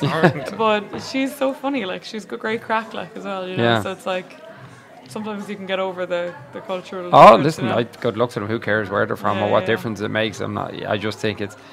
But yeah, they're not I- trying to move home. I yeah. just find that it, this is just me now. It's that you're marrying somebody from any someone you've met in New Mm. York, basically that's not Irish. It's nearly like you're committing there and then But I'm here it, for life. Totally, yeah, yeah. Like, 'cause my thing is, well, if you met in New York, worth it. yeah, if you met in New York, like, there's a good chance. And females in general are probably more inclined to go m- move closer to home. Mm. So, like, if you meet a girl one night out and you're in, like, down in Phebe's downtown or in the Mean Fiddler at four in the morning, you better find out if she's from Idaho or somewhere there first before you continue it any further. Mm. Just because she's in American and she's in New York doesn't mean she actually is from New York. And Yeah. next thing, you're next thing you're living in Cleveland or something like. You say, how did that happen? I didn't see that coming. yeah. So yeah, that's interesting now that you just I just see with you with the girls and stuff, yous are lucky. And I genuinely mean that, like because I feel years ago when they were illegal and stuff like that, you had no other choice but to go into a waitressing industry. Yeah. And these are probably would have been well educated girls that had good you know, Mm-hmm. good degrees and stuff like that. But just wanted to come here. Next thing there were three months here, four months. next thing it's five years have gone. That's all behind them, and you're leaving a bar at four or five in the morning. You know, after Yeah, been working. They would have never agreed to work at, like that at home. I'm complimenting them for working. I did it myself, but they would have never signed up for that at home. Mm-hmm. Yeah. There's no way. And you end up in that whole community then. The waitress, the bartender, Mm-hmm. the drink, and the drugs, and the whole everything. And next thing, it just gets out of hand. yeah. And boom, next thing you're illegal and you're in your mid 30s and you're single and you're living in New York and you're like, what fucking happened there? Yeah. And there's too many people get caught up in that. And gladly, your generation, I don't see it happening anymore. Not as much anyway. Yeah, it's not as easy for people to come over anymore. Well, I just think the younger generation are much better educated and they're coming straight to New York with degrees Yeah. and they're coming straight here with visas. They're getting hired straight out of Ireland. And like Yeah. Mm-hmm. you, after the two years, you had something to go home to. You had something to fall back on. Yeah. Like the dog, he's going home for the summer. I don't know. I think just going forward for the Irish American community, it's, it's it's getting so hard to get a visa to come. Yeah. here. Yeah. It, and, and you know, and I've seen that with Laura, but I've seen that with so many people. Now you hear Not there's just so many, that, but I'm just saying but there the, is- just the options aren't Yeah. there. Like what, what what what do you get? Yeah. Like what I did. Like I'm 35 now. I went back. To, I did. I have a master's in history, and I went back to. I did a second master's like three years ago in journalism. Mm-hmm. I got the grad visa out of that. Then like that was my only kind of mm. option at my age. Like go back and get the grad visa, and then try and get another visa on top of mm-hmm. it. You can't get a working visa to come over here. Yeah. Like it's basically. That's why I've, I just feel so lucky that I had the opportunity to get this one. Like you know. Yeah. So. Yeah. It's the lack of not knowledge on the visas as well. We spoke that with Jeff here one night, w- didn't we, on this before? But it, it's the, it's it's nearly like you were Coop there. Mm. You heard so many different reasons. Oh, get this and get that.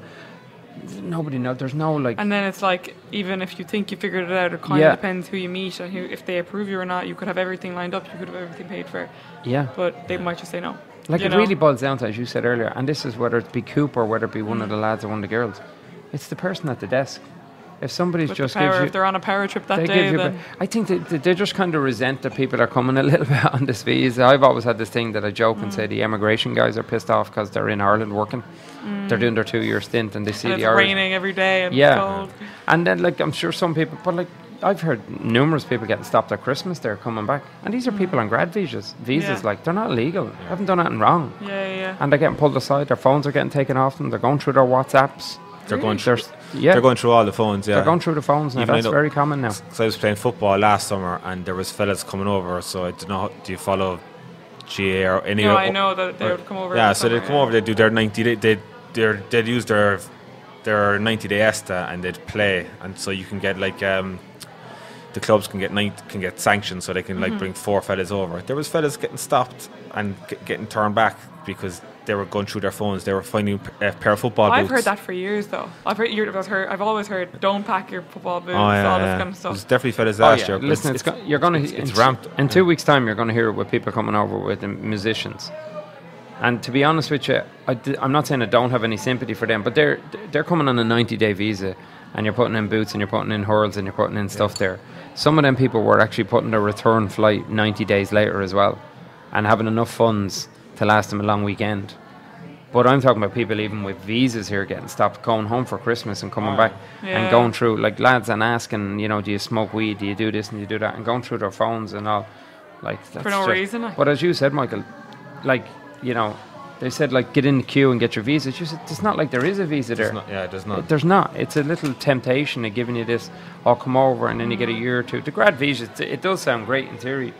Like you only get two years on it, and then you're like, oh, where do You I go only get from one here? year, don't you? You Yeah, get, it's- but by the time you one- extend it out, I think you It's one year. Oh, you can do the B, the You B one, B two. yeah. Oh, yeah. But shit, there's not really much point in doing that, is there? Because you You're just can't come back extending it for out. two years if you do that. Yeah, But it it's, just but teases you. It's what's the option then after. So then, like, Yeah. you do you go for the H one B, Which is a lottery. only or the O. I'm on the O, and um, th- which is a lottery. Yeah. So then you're you're over here for a year and a half or whatever, and then you're trying to go through the lottery system, and you probably have to go home in between, and it's just there's no options. There was It's so expensive as well. they were Oh. trying to push an, an E three visa last year. Did you ever hear Charlotte's story? Sorry to interrupt. no, no, Did you never hear Char- Charlotte's citizen story? No, No. Oh, she was born here, wasn't she? No. no. So she said she she went born- in after her. She applied for the grad visa, went into the embassy, was there for two hours, questioned non-stop. She'll tell the story way better than me, but um, basically, she's a citizen, and that she left with a passport, and she never knew. She was born in the UK, um, um, and it was a loophole at that time because her mother was from here and not married. But when then her parents got married, like pretty soon after she was born. So all, none of her brothers are citizens, just her. And she found out that day in the embassy after two hours of being questioned. And she had no idea. And You're her mom joking. applied for them before. Her mom only lived here for three years. So her mum had applied for when she was younger. Younger, yeah. For all Yeah, she them. would have had to have done She it didn't when. say, "Oh, we've had we had Charlotte before we got married," or you know, yeah, so she applied when she was young, and then she got it, but never knew she had it. never knew she had it. Wow, that's not No, a she bad didn't get hours. it. She didn't get it. Oh, she- They were denied. All of them were denied because, like, they didn't look into it at the time. That they didn't. Yeah, put in there's an age bracket you pass if Mm. you don't do it in the early days, and also I think her mum has to pay a certain amount of taxes, something like that. No, it's, it's basically the loophole was in that year, the year Charlotte was born. If you were born out of wedlock, out of wedlock, out of the states, or in the UK or something. Right. Okay. You to- were and her mother being American, like. yeah. Uh, Even though her mom was born here and lived here for three years. Wow, isn't it great that her mum was a floozy? Can we say that on the so podcast? lucky, Say what you want. So lucky. So she sorted like she was. Jeez, that's great. And, yeah, But her she brothers didn't get it. I love that. That's like having hair in your brother's being bald. I'm an American. So we just need to get Charlotte married off. He shouldn't have told us that now. I'm going to start putting a bid on Charlotte there on the Long Hall Instagram. See what price we can get her up How to. much did you get her? Yeah. yeah. I had a going rate. I was told last night was 15. I was talking to a girl here last night. There was a there was a wedding here yesterday. Nobody know when day this mm. podcast went out. So mm. there was a I call ice. there was a wedding here yesterday, and the boyfriend and the groom were here, which was kind of really handy. they were drinking together. Oh my god. With your two old dads. Well, I'm happy to have my blue passport anyway, and it is lovely to have. But I was joking there about the queue earlier in the Derby airport. You actually mm. a tip for people: you don't have to go into the American queue if you have an American passport, if you were born in Ireland. So you know when you go to the counter, it Means nothing you- to us. means nothing to you, doesn't it? We don't care. That's all it is. It means something to me and Coop, right? Coop's a citizen. He has a little passport, pet passport. Does he really? Do they have pet passports? Mm. That's deadly. Did they hold it up and look at his face? I don't know, man. Did they it's fingerprint optional him? to put a picture in it. You think I would have, but I was a bit lazy. So. Put the one that he got all the likes for. Yeah, I will. put one in in his like Hawaiian shirt. Yeah, and your man said, oh, I know him. And had this great colour. Look at this dog. You're comfy? He's bad. Definitely getting Charlotte on now to find out about this fucking visas, find out what her mum and dad were up to. Think that's a fascinating story. That is She ridiculous. tell like she'll tell you all the questions and everything. Like she thought, or th- what did they say to her? We don't give U.S. Uh, we don't get you. You give U.S. visas to citizens. She was like, what? She was so upset. She thought she was being denied. You know. Yeah. She told everyone she was moving, and they said we don't give visas to citizens. So she got a passport, paid a hundred dollars, got a passport, got a refund for everything else. that is amazing. 'Cause I knew she had said something a couple I'd never weeks heard ago, anything like that. she- Yeah, I know. Uh, she was leaving then, and they called her back in and said, and she was like, I knew it was too good to be true. And they said, Oh, we just wanted to show you to the other guys. This is the, only the second time this has happened in like however many years or something. There's no better feeling. I have to say, I did my citizenship downtown, and I was just like, I was so bored by the end of the ceremony, and all it is painful. Like it's just, it's just this repetitive stuff. People mm. walking in and out, and you're yeah, anyway.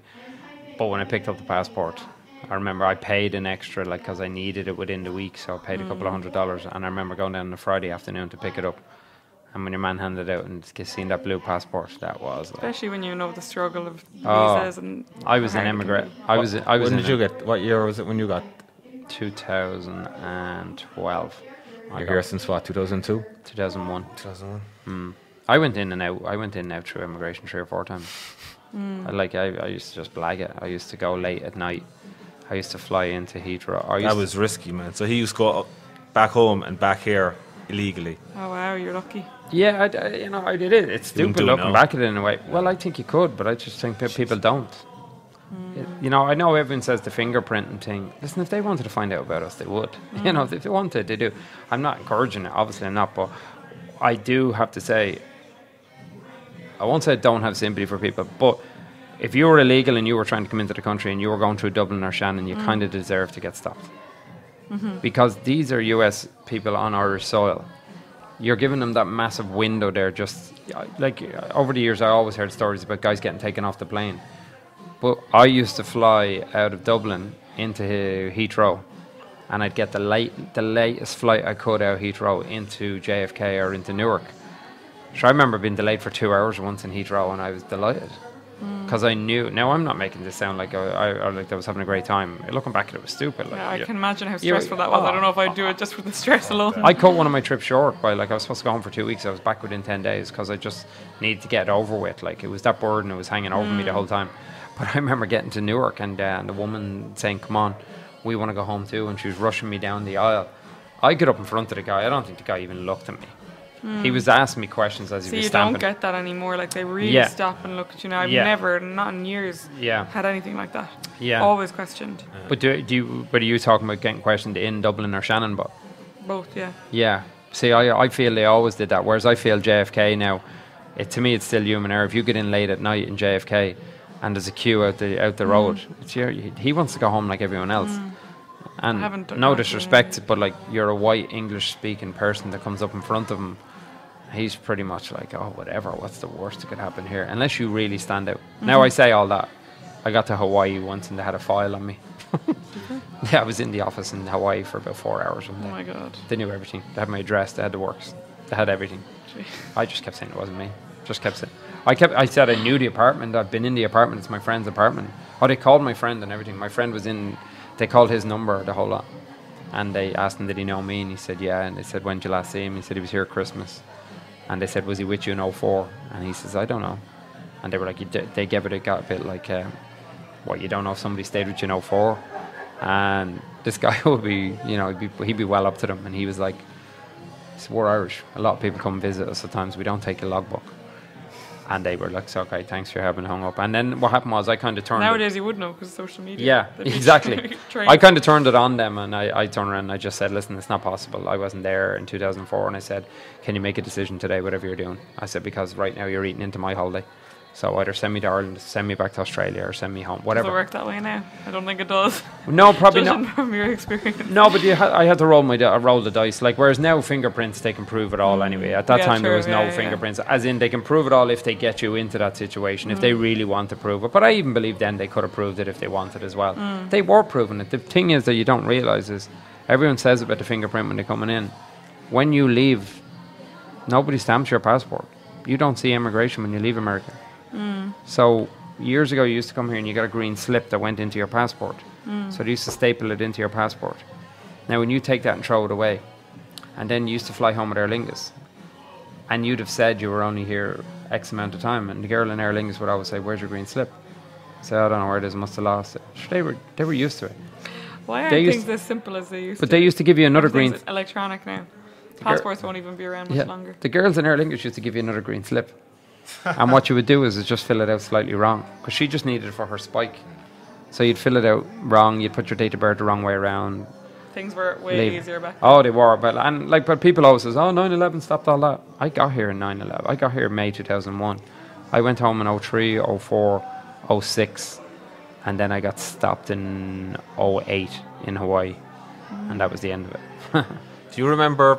I'm nearly convi- I was here about 13 or 14 years ago, and I think I remember scanning out of the airport to go home. Did that ever come in? I think No. it was just figment of my imagination. Probably is just Anyway. yeah. It might have been just to get your boarding pass. JFK is supposed to be supposed to be easy. You know, all right. If you're coming back, coming back through.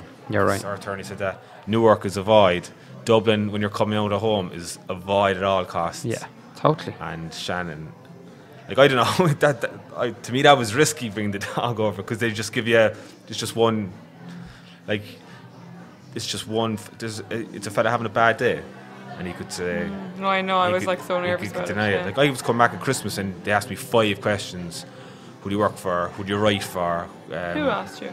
The guy at the the In Dub- oh, in Dublin. Dublin. Yeah, so you're in U.S. immigration in Dublin. I flew from I just- this time. They sound I was like just Shannon. Shannon again, and I was telling you this. I was I was coming up, and I thought I thought from the look at the fair, she'd short hair, but I thought it was actually I thought it was a woman first, and I was like, I'm going to be right nice and happy. And I was going to go up and say hi, madam.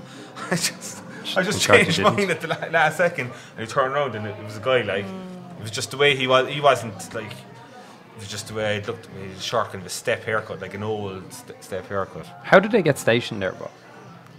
Like I always imagined that. Like so, he signs up, he gets a job in immigration, Mm. and then he's gone home telling the wife, "Oh, we're going to Shannon." she thinks that's somewhere in Aruba or somewhere, somewhere really nice, and then she looks it up and realizes. I'd imagine Ah, they, but they get Americans moved love around. Ireland. It's like Yeah. for a while Yeah, before but they like- go there and realize the weather's so yeah, bad. that's what I'm saying. Like us, they're fine, but then when they're working in immigration there for, because I think they have to do two years there. Do they? I think so, yeah. So some of them are actually American citizens, Irish uh, American citizens. Well, at least if They're they're, long-term. in Shannon, then at least they're close to Their Limerick. homeland security. Limerick's fab. Yeah, but what I'm saying is, like, I think some of them would be. Some of them, I know there was a woman that worked in one anyway. She was from Tipperary, but she was an American citizen, and that's how she worked with them. So for her, it was fine. But that's why I always think that they're kind of pissed because here's you all chirpy, rocking up there in January, heading back to New York, and he's like going, "I'm gonna fucking, I, I'm gonna put a bounce on that fella's step there now, and we'll see because he's stuck there and you're not." Yeah. But the, the, the, the, the point I was making, sorry, was the guy in Dublin, the guy in Shannon, all he used to say to Michael Dorgan is, not happening today, go Yeah, away. exactly, that's what I And he yeah. doesn't have to do any work, he doesn't do anything. You get to JFK, you get to Newark, you get to any of these places, they will have to be sure because they have to put a lot of work into getting you back home. Mm. So unless you've done something really wrong, they're just go- they're going to hold you and they're going to send you back. Sometimes you think it's handier. So it takes a lot. Again, I'm not recommending any because it's a horrible flight. But even some of these people that we're talking about at Christmas, they're just even coming back on their own visas, which are there. If I was advising any one of them, I would not go through Dublin or Shannon. I would fly through Heathrow if I was them, just to get to America. Yeah. On a, on one of these visas. These, these Even peop- if they have like totally illegal visas. I know not not a green card or anything like that, but any of these what what, what do you call them the H two or the HB visa? H1B. The H one B. H1B. Some because some of the lads are probably not supposed to travel a lot on them, and or there's right, different yeah, there's different rules with them.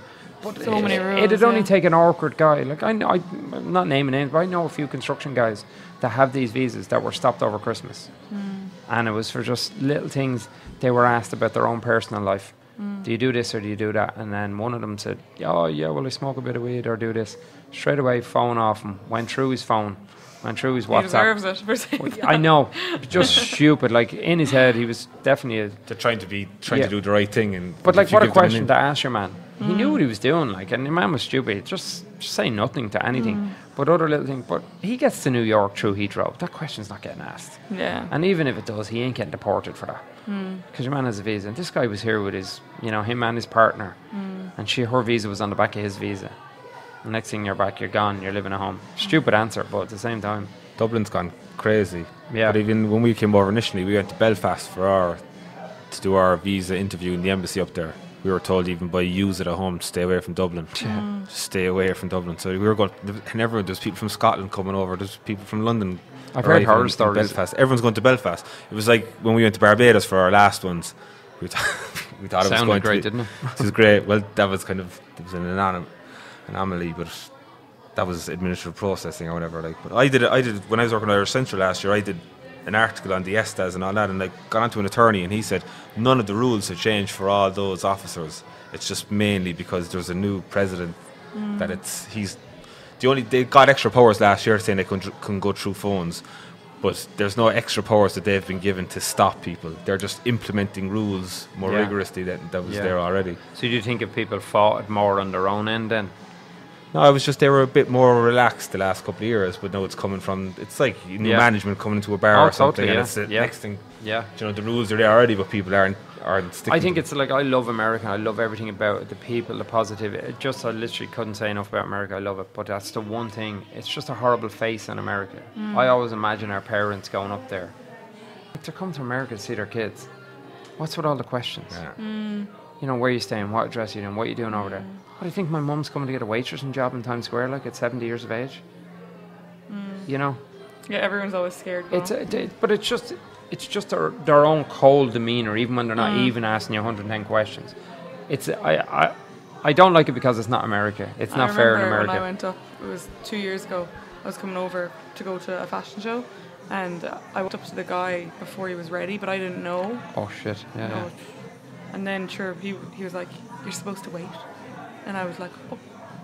And then I was like, "Do I go back? What do I do?" And sure, I was brought in for questioning for an hour and a half. Like that. That's literally probably why, because I went up before he like, was don't ready. tell me that's not a power trip. Like, Yeah. Ah, yeah. like He, I could tell he was in a bad mood. I was like, "This isn't gonna go like well." that that visa you mentioned there earlier on, the the O visa. Yeah. That's an entertainment visa, am I right?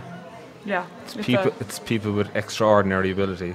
You're just saying that because you have one. No, because Louise has one. Okay. and I am. I'm going to cut that. Right. We, we can, if you want to mention visas. Well- but that's the. But the way that visa was for people like Louise, Right. Like that are, that So- are like global brands or whatever. Like, and it was just. I'm just going to cut this. have you ever? uh, No. Well, well, there's a reason I think this is important. Have you ever been asked like, "What are you going over for?" And you always associate it to work, right? Yeah. So Conor won't mind me telling this. Yeah. But Conor Moore is on the same visa, right? And he come over recently, and the guy asked him. He says, "What are you going over for?" Oh, and Conor goes, "Oh, I'm just going over." He says, "My brother's getting married, so we're going to a bit of a stag party." He says, and then we're heading down to Mexico for the wedding. And your man's going, "So you're not working?" No, not this time. Just going over for the oak. And your man goes, "Well, there lies the problem." Pulls him in, brings him into the office. But because Conor had said to him he was going on a social aspect, even though the, Does he not live here? he He does comes back and he forth. comes back and forth, but that's through his work. He's, he's mm. sponsored through the Golf Channel, so he works Oh. for the Golf Channel. So he's on the O as well. So he's on the O back and forth. But that, I don't think it was an issue whether he lives here or not. Your man just said, "Oh, you're you know, are you going home or are you doing?" He said, "No, I'm going." To and I know someone else who, someone else that that happened to as well, who's who's married to somebody with an O visa, uh, mm. and she was coming without him. And when they asked her, "Where is your husband?" she says, "Oh, I'm going to America with someone else. Like, I'm going with my mother." And she got pulled in, and got, had to go in and apply for an ESTA, I have to wait. even though she has an O visa on the basis of her partner, What? and she nearly missed her flight on the basis of it. Oh my god. Now, she she'll know better next time, I guess, and so will Conor. But come on, Yeah. is that really like that's just that Yeah, to me is just over the top. That's like you walking up to the counter. Like, come on, what difference does it make? Yeah, yeah. You still have a visa to go. It ain't gonna change. Yeah. Yeah, it's weird. So don't tell them every time you come. We'll cut all this. Vi- we'll cut all this visa stuff. Yeah. if, you- if you But I do think it's a good topic at some stage for It somebody is, but, like, because there's yeah. loads of people. But it'd But be I'm just saying that we can do it afterwards because some people don't want to talk. Don't want to talk. no, but it'd I be a, it'd be a good thing if you could get a lawyer on.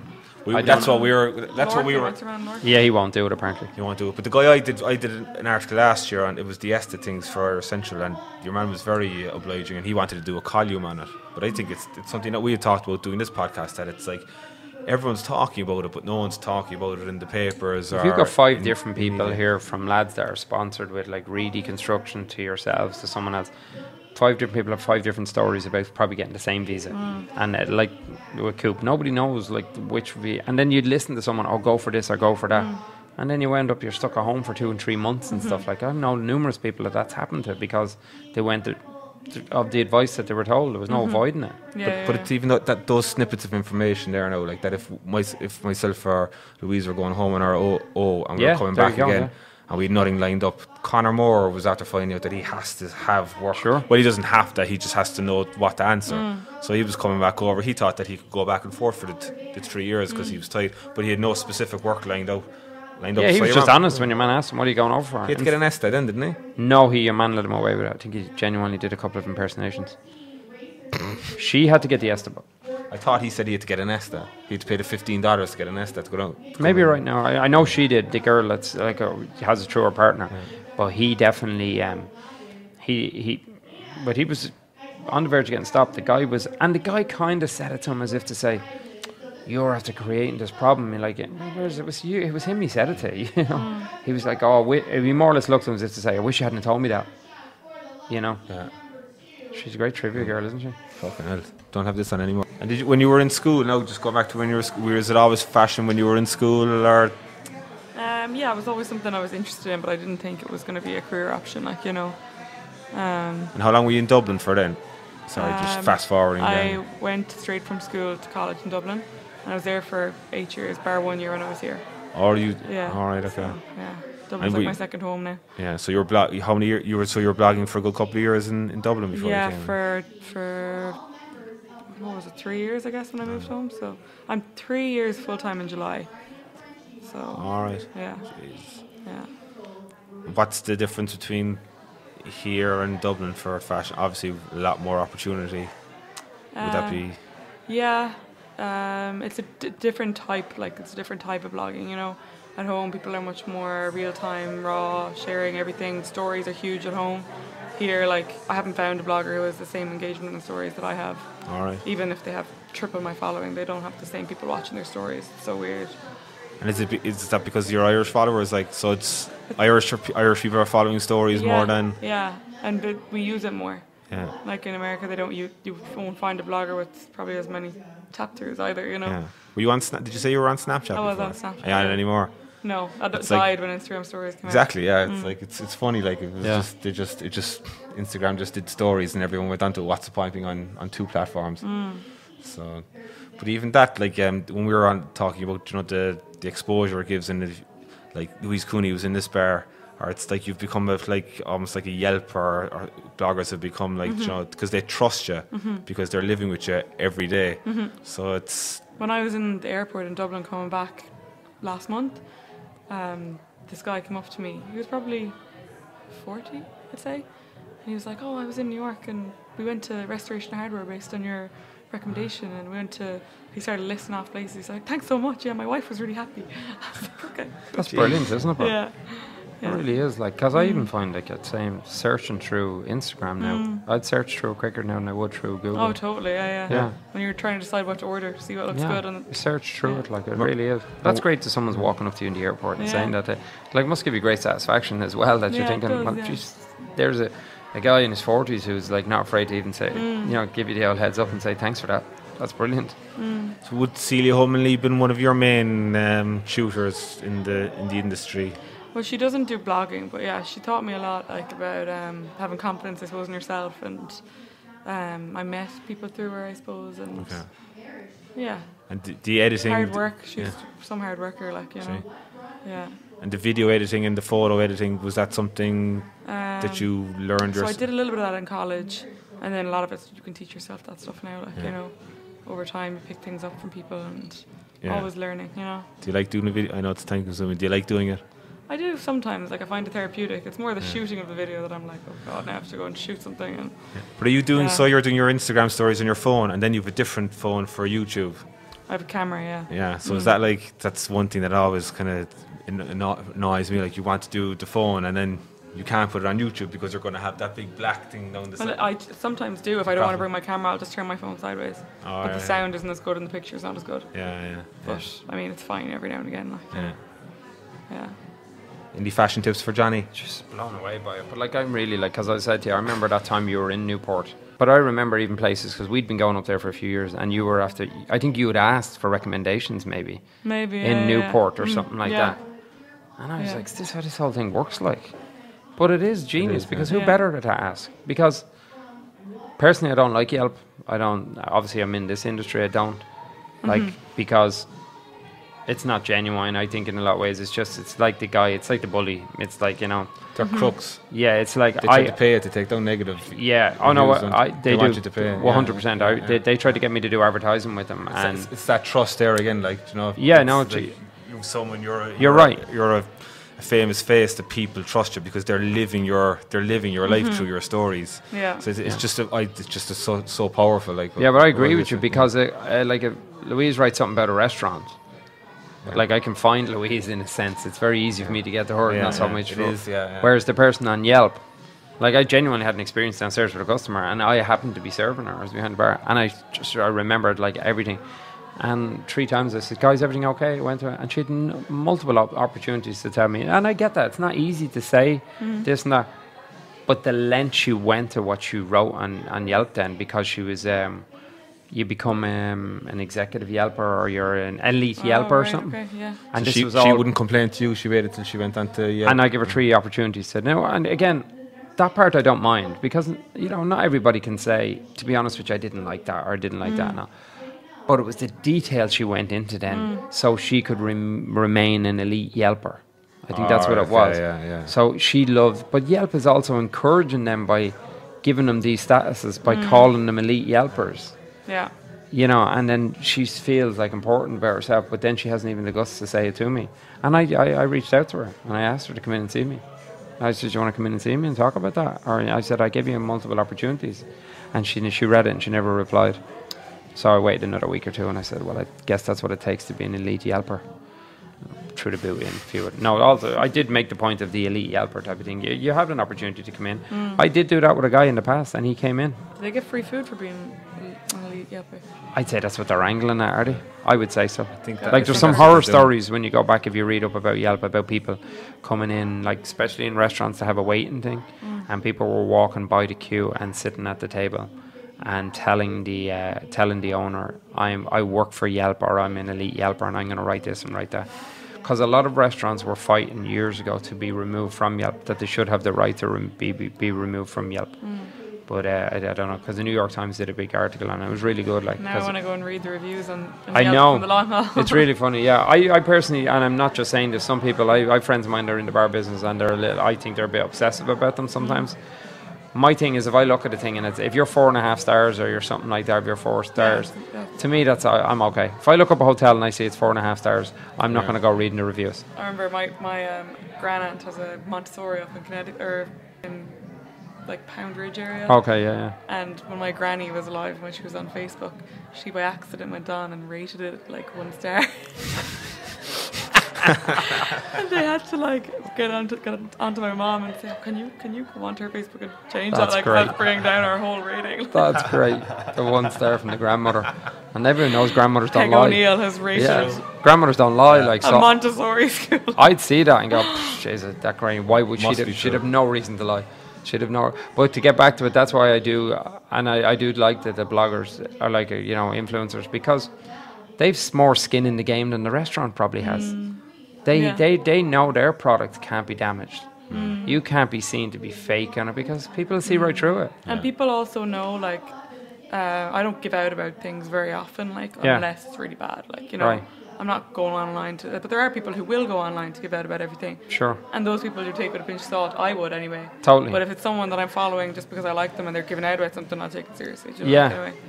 No, and, and that's good. And restaurants will mm. pick up on that, and that's why it is good for your product. Because I know, like, mm. you've even gone to my brother's place and stuff like that, and you've had a great time. But Yeah. that is massive for them, even then. Because I remember at the start when my brother or the other one said, "Would you ask the girls to go over?" to You asked me to ask Louise, like, Macker and Vincent. He said, "Would you ask I still get people asking me, where's that bar, where's that bar? Yeah, and I brought people to it last week, Haswell Greens, like, brilliant. and So it's brilliant. Haswell Greens, what street? Yeah, John? fifty second between seventh and eighth, is it? But they Were you there that- for the pianos? Yeah. Oh, it's Ah, brilliant. brilliant. But like, I, we had one complaint though, they didn't know Fairy Tale New York. We weren't happy about that. that's not on. That's not, on Not at all. on at all. When in January, February? No, it was December. All It was. It was when the No, lads. wouldn't actually, do it was it. November. It was November. It was around Thanksgiving. a bit But it was when the lads were here. It was when the Kerry lads were here, like the lads from Oh, Tralee, yeah. Oh, and yeah. they loved it. Oh, yeah, like yeah. one of the lads texted me the other day when he seen I was there, and he sent me a text. Can't wait to go back to that. Mm. But the power of the social media of you's been in there for the lads, Mm. and I do feel sorry sometimes. I have friends that be a bit older that be in the bar business, and I would try to say to them like, you know.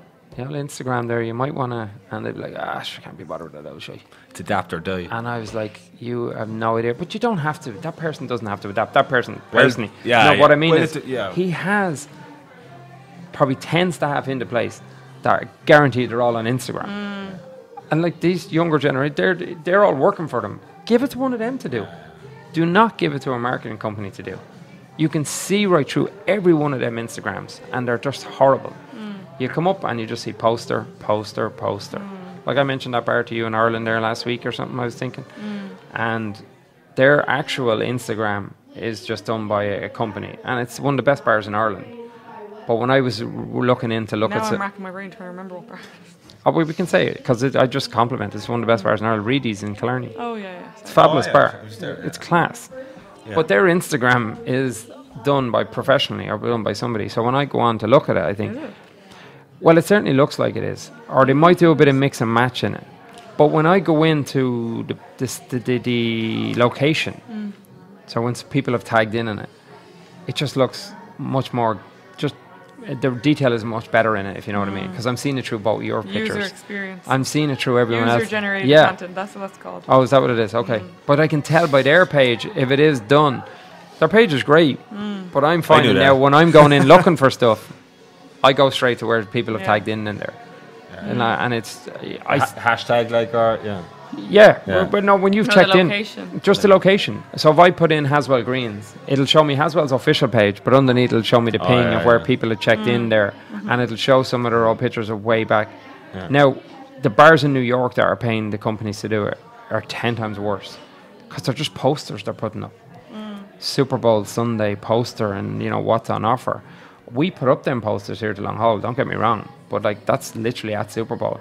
These places are doing it every week and That's they're more saying, something you'd put on stories, I guess. Absolutely, because but how many people even go down and look through people's pictures? Hmm. I ne- would never do it. I nearly never go through the roll of pictures, just the stories that go through.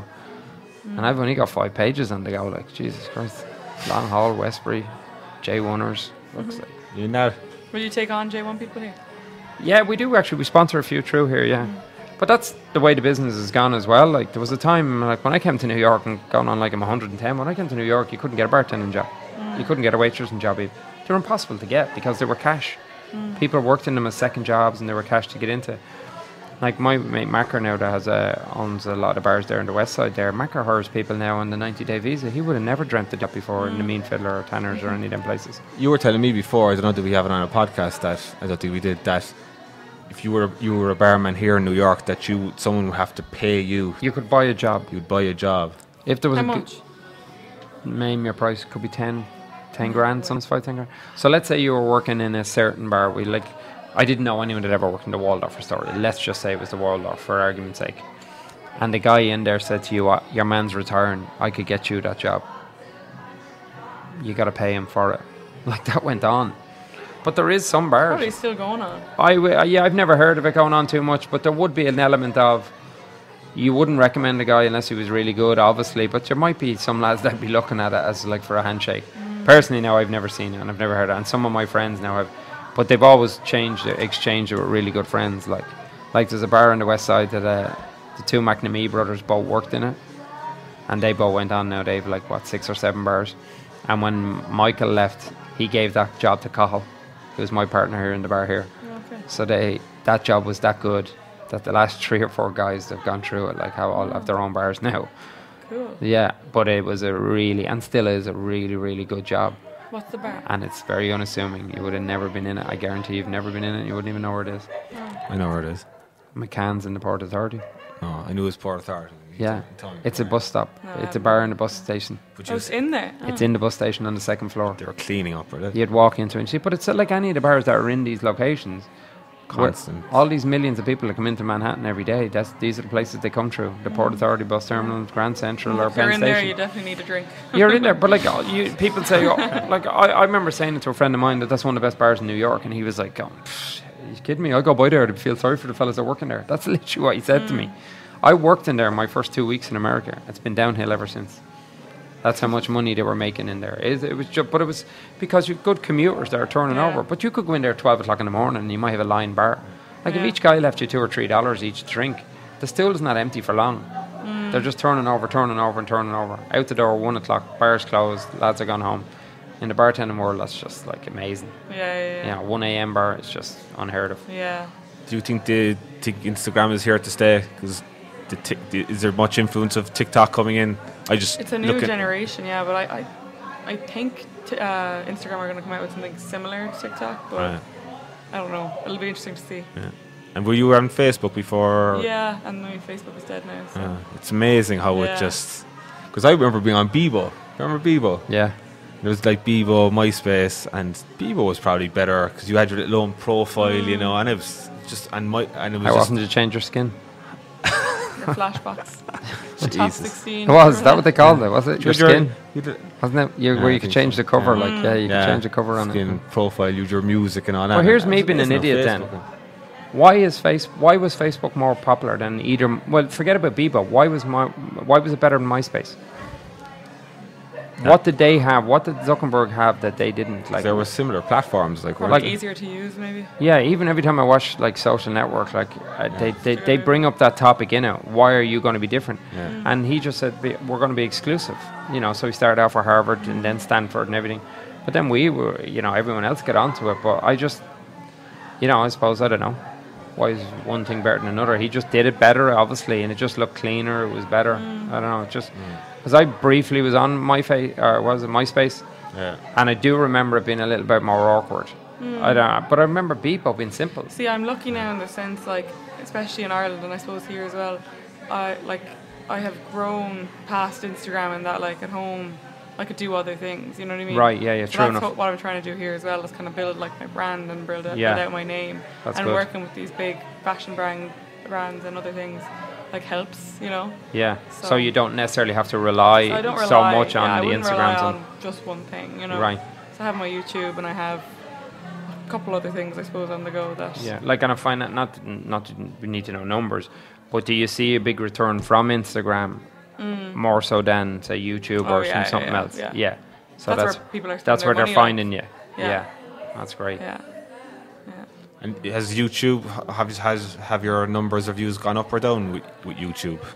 Since I've been moved. Yeah. Oh yeah, like hugely Gone gone up? up. Yeah. All right, People okay. are just watching the whole journey, and a lot of people, a lot of Irish people have gone through it. a lot, You know. Because it's it's kind of a funny platform from, from my perspective that like you kind of put stuff out there and it's hard to share, or uh, I suppose Instagram is hard to share then as well. See, like it's YouTube, you get that little bit more. So it's like if you want more, if you want to see more, you Extras get- like yeah. you, you that's what you say like mm-hmm. see click on my YouTube channel yeah, for but more If you want like the bare minimum, then it's there. You Yeah, know, as well. yeah. So. I think it really helps because I I love the buzz when I see Irish people have come here for the first time, mm. and they're like on. But whereas I used to pair it up, say before with movies, mm. now they're pairing it up with the likes of you. Yeah. Like totally. for years, I would like like I get messages every day from Yeah, people being they're- like, love we're go- watching you yeah. and your journey. And yeah, and also we're going over November. Mm-hmm. Whereas before it was like just a Flatiron building. That was the last scene. The Usual Suspects. Mm. Now it's like. You know, there's a Flatiron. That's where Louise Mm-hmm. and the girls were last week. So people know it from that. So they're seeing New York. They're actually familiarizing themselves with it even before they get here. So they've much more better plan. They're no longer going straight into Times Square and sitting in an Irish bar in Times Square Yeah. and just not knowing what to do. And you see it more now. Even through here, I'd say to someone, "Where are you staying?" And I'm waiting for them to say like Midtown somewhere here, which is nothing wrong with it. But now they're like, "Oh, well, we're staying in the Bowery. We're staying in the West Village." Yeah, yeah. I was like, high fiving them. like you're delighted that they've done that. Like, Yeah. because you can stay anywhere in Manhattan. It doesn't really matter because it's It's so well as big as it connected, is. It's small as well at the same time. It's only 11 miles long, like three miles Yeah. Mm-hmm. wide or whatever. Like it's not that big. But the, like Instagram, it kind of levels the playing field in that the sense that you built up your brand from scratch, and like maybe in yesteryear when there was no social media, that you were relying on getting jobs and getting a job back Yeah. in the day might have been paying 100%. someone or to to get along. Yeah. Whereas people know if you're good at something, you know you're going to be rewarded. You're going to get a Mm. following. Mm-hmm. So it's it's it's great in that sense as well. Yeah. I'm gonna bring back out Bebo, but no, you got me thinking about Bebo. I'd love to change the skin there. You know what I mean? Just to be able to put Dublin on her. You could put New York. You could put any of this crap on it. But you could also see who was looking at your Facebook. Yeah, you your write Bebo. comments public to each Yeah. other. Yeah. my mum was great at doing that in the early days of Facebook. What's that? She'd be writing public comments to people and stuff like that on the early days of Facebook. But she'd be trying to advise one one nephew not to don't worry about that other fellow. like he's only this and that. Oh no. And she'd have it on her homepage and I'd love it. I'd be texting my mum going, "Man, you know you just put that public and there'd be a panic attack down. She'd be, she'd be ringing and how do I get off? And I'd be like, you're on your own there, kid. And that's all for this episode of the Long Hall Podcast.